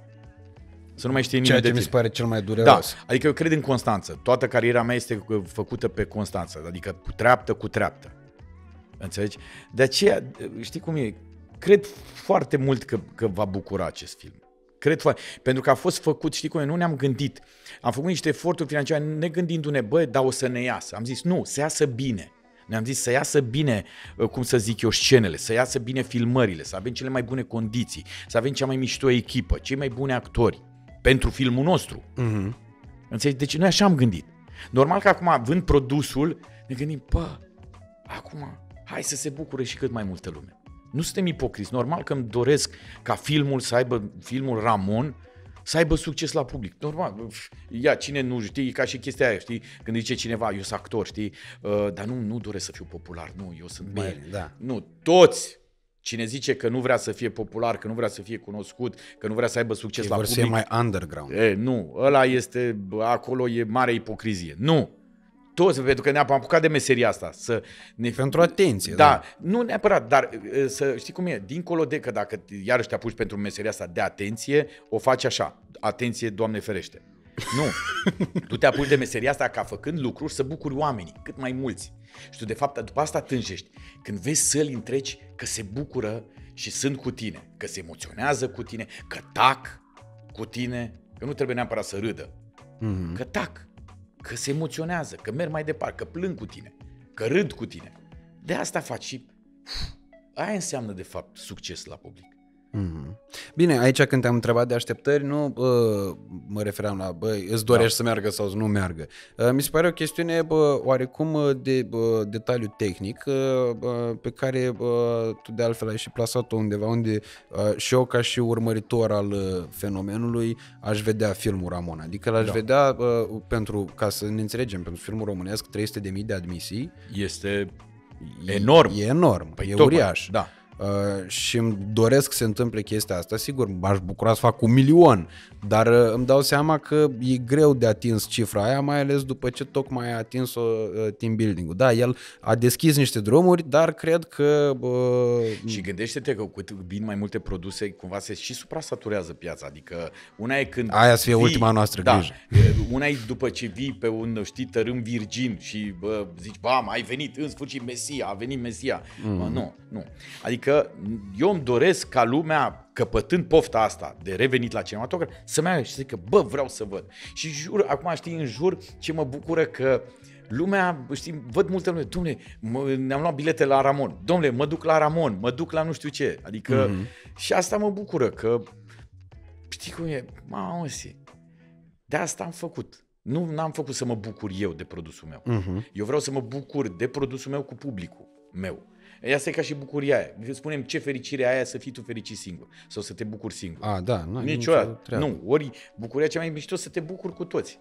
De aceea ce bă, iar mi se pare bă, super mișto ca și feeling e chestia asta cu mersul prin țară și în momentul da. în care se termină filmul, oamenii să-i poată vedea pe eroi din da. film în carne și oase. Da, și noi vom face asta. Am zis, băi, ne vom duce în cât mai multe orașe, pentru că filmul are, cum să zic eu, nu doar prima săptămână contează pe... E foarte importantă, prima săptămână, de cum intră în cinematografe. Dar filmul are o durată de viață în cinematografe de vreo două, trei luni. Uh-huh. E foarte important cum menții și după. Adică nu am făcut la început, mamă, tam-tam, mergeți la Ramon, bucurați-vă și după... Să le goale, da. Nu. Trebuie să menții atenție, trebuie să cum să, să trezești cumva. Noi învățăm marketingul ăsta de film. Noi îl învățăm. Uh-huh. Noi îl învățăm, noi ne schimbăm, ne adaptăm la el. Noi n-am știut, nu avem un, un dosar sau un, cum, să, cum să înveți marketingul de film. Noi avem oricum un buget de marketing și de distribuire mic. Tu încerci să faci din bugetul ăla să maximizezi totul. Mm-hmm. Adică dacă aș avea și eu, nu știu, să am un milion de euro sau 200 sau 300 de mii de euro pentru... Să umpli orașele de afișe. Atunci nici, nici nu mai, mai, m-aș mai chinui. Înțelegi? Să zic, domnule, da, de ce e bun film? Da, de ce să participi la podcasturi, să vii, să te duci la televiziune, să vorbești sau efectiv să vorbești ca bou singur, că câteodată mă trezesc cu telefonul și zic, bă, oameni buni, știi? și zic, bă, bă, știi? Măcar, mă, acum, ce bine, știi că dacă te vede lumea în mașină sau pe stradă, știi, vorbind, știi, nu mai zice că e nebun. Știi că înainte vorbeau, erau singuri aia, actorii care își repetau textul și, cum să, aia care aveau probleme. Da, da. Înțelegi? Acum toată lumea vorbește singur. Nu știi dacă are cască sau nu are cască, nu ureche. Sau, da, nu, nu mai e o problemă, știi? Da, bine, asta e și în avantajul nebunilor. Înțelegi? mulțumesc frumos, mulțumesc. Uh, eu uh, îmi doresc foarte mult ca filmul să uh, ajungă la oameni, iar oamenii să se bucure de el, iar pentru asta cred că din acest moment există un singur responsabil, responsabil pentru asta, și anume publicul. Cred că e de transmis din nou acest mesaj și anume faptul că nu putem să ne bucurăm de filme de calitate și să creăm acest obicei de consum al filmelor în cinematograf decât mergând la film. Nu cred că e un secret, ați văzut că majoritatea filmelor apar și pe platformele de streaming, dar uh, nu se compară niciodată că acum nu mai poți să mai păcălești pe om. Merge acum că ăsta nu-l pun nicăieri. Uh, ideea e că nu se compară niciodată mersul la cinematograf, uh, experiența mersului la cinematograf, calitatea audio-video, nici dacă ai home cinema acasă, că am mai fost eu pe la ăștia de au, credeți-mă, eu dacă mi-aș face așa ceva, tot m-aș duce la cinematograf. Dar oricum e o problemă inutilă, că eu nu o să am bani să-mi fac așa ceva prea curând. Uh, ideea e că de un bilet la film are toată lumea uh, cu siguranță care ne privește în acest moment uh, și uh, cred că e doar să vă doriți să uh, schimbați puțin obiceiul, să renunțați la comoditatea aia pentru că orice efort, simplu efort, că te îmbraci, că te pregătești, să te duci la film, că îți rezervi biletul, că îl câștigi la uh, țibulcă în comentarii, comentarii, uh, că te duci frumos... Că-l găsești pe jos. Că-l găsești pe jos, da. Uh, că-l printezi, îl tragi la Xerox și așa mai departe. Nu, nu trageți, că au coduri QR. ok. Uh, pe aia cați nasol. Da. Uh, toate lucrurile astea cred că uh, contează mult în economia uh, felului cum veți resimți produsul în momentul în care ajungeți în sala, în sala de cinematograf. Ca acasă te întrerupi, pui filmul pe pauză, trebuie să răspunzi la mail, răspunzi la telefon, te duci la baie, plânge copilul dacă l-aveți, trebuie să vedem ce face și așa mai departe, câinile vrea afară, se întâmplă, uh, mai trage un vecin cu bormașina, ceva se întâmplă tot timpul, sâmbătă când e peretele mai moale, cum zicea Oprișan. Uh, drept pentru care de asta mersul la cinematograf este o experiență uh, care nu poate fi înlocuită în materie de film cu absolut nimic. Uh, și pe lângă chestia asta, vă veți putea simți împliniți că ați contribuit și voi la dezvoltarea industriei Uh, cinematografice românești în adevăratul sens al cuvântului. Uh, eu îi mulțumesc foarte mult lui Pavel pentru faptul că a venit uh, aici alături de mine. E o bucurie foarte mare, în primul și în primul rând pentru mine, pentru faptul că mă gândesc că bă, pe omul ăsta când îl vedeam eu acum fix 10 ani de zile, că fix 10 ani de când l-am văzut în carne și oase prima dată, e o bucurie foarte mare că omul ăsta a ajuns aici în sufragerie la podcast, pentru că eu ca el mi-am dorit să fiu și știți că am mai și povestit și în podcastul de ziua mea și așa mai departe, abia aștept să-l pensionez ăștia, să prezint eu vocea României și România au talent când nu o să se mai facă. Uh, mai mult decât atât, uh, îi salut pe toți cei care fac parte din distribuția filmului Ramon, uh, în principal pe uh, Ionuț Rusu, care am avut podcast săptămâna da. trecută uh, și uh, doresc, îmi doresc foarte mult ca uh, ceea ce ei și-au planificat în decursul călătoriei lor cu, acest, cu această producție să se îndeplinească. Uh, ce să vă zic, nu uitați de concurs, Ramon în comentarii, 10 invitații duble la film, adică 10 bilete duble la film pe care uh, vi le uh, ofer eu cadou uh, și anunțăm câștigătorii săptămâna aviatoare pe 9 februarie la podcast, tot aici, live, o să-i și scriu în secțiunea de comentarii, ca să nu spuneți că v-am forțat să vă uitați la podcast pentru chestia asta. Uitați-vă dacă vă place, că aici despre asta e vorba. Dacă vreți să susțineți industria de podcast românească, puteți să, să o faceți devenind membri la canalul nostru, pentru că în funcție de abonamentul ales veți avea parte de o grămadă de beneficii. Uh, mai mult decât atât, uh, cum ne mai puteți susține, adică cea mai puternică metodă de a ne susține este că dacă ați avut uh, plăcerea să vă bucurați de aceste uh, discuții ale noastre, să le recomandați și prietenilor voștri și vă mulțumim tuturor celor ce o faceți deja. Pentru noi anul 2022, așa cum v-am mai spus, uh, a fost un an de poveste. E primul material pe care îl înregistrăm acum în 2023, drept pentru care trebuia să vă spunem la mulți ani, dar a început prea frumos discuția dinainte de podcast încât n-am putut să o trunchem, deci la mulți ani să aveți un an minunat minunat și uh, nu uitați, like, share, subscribe și toate chestiile astea uh, pe care le cunoașteți deja. Ramon intră de mâine, 3 februarie, în cinematografele din toată țara. Uh, vineri seara e România au talent și mai important decât atât, pe Pavel îl regăsiți la teatru aproape zilnic, că de asta a și fost greu de filmat acest episod.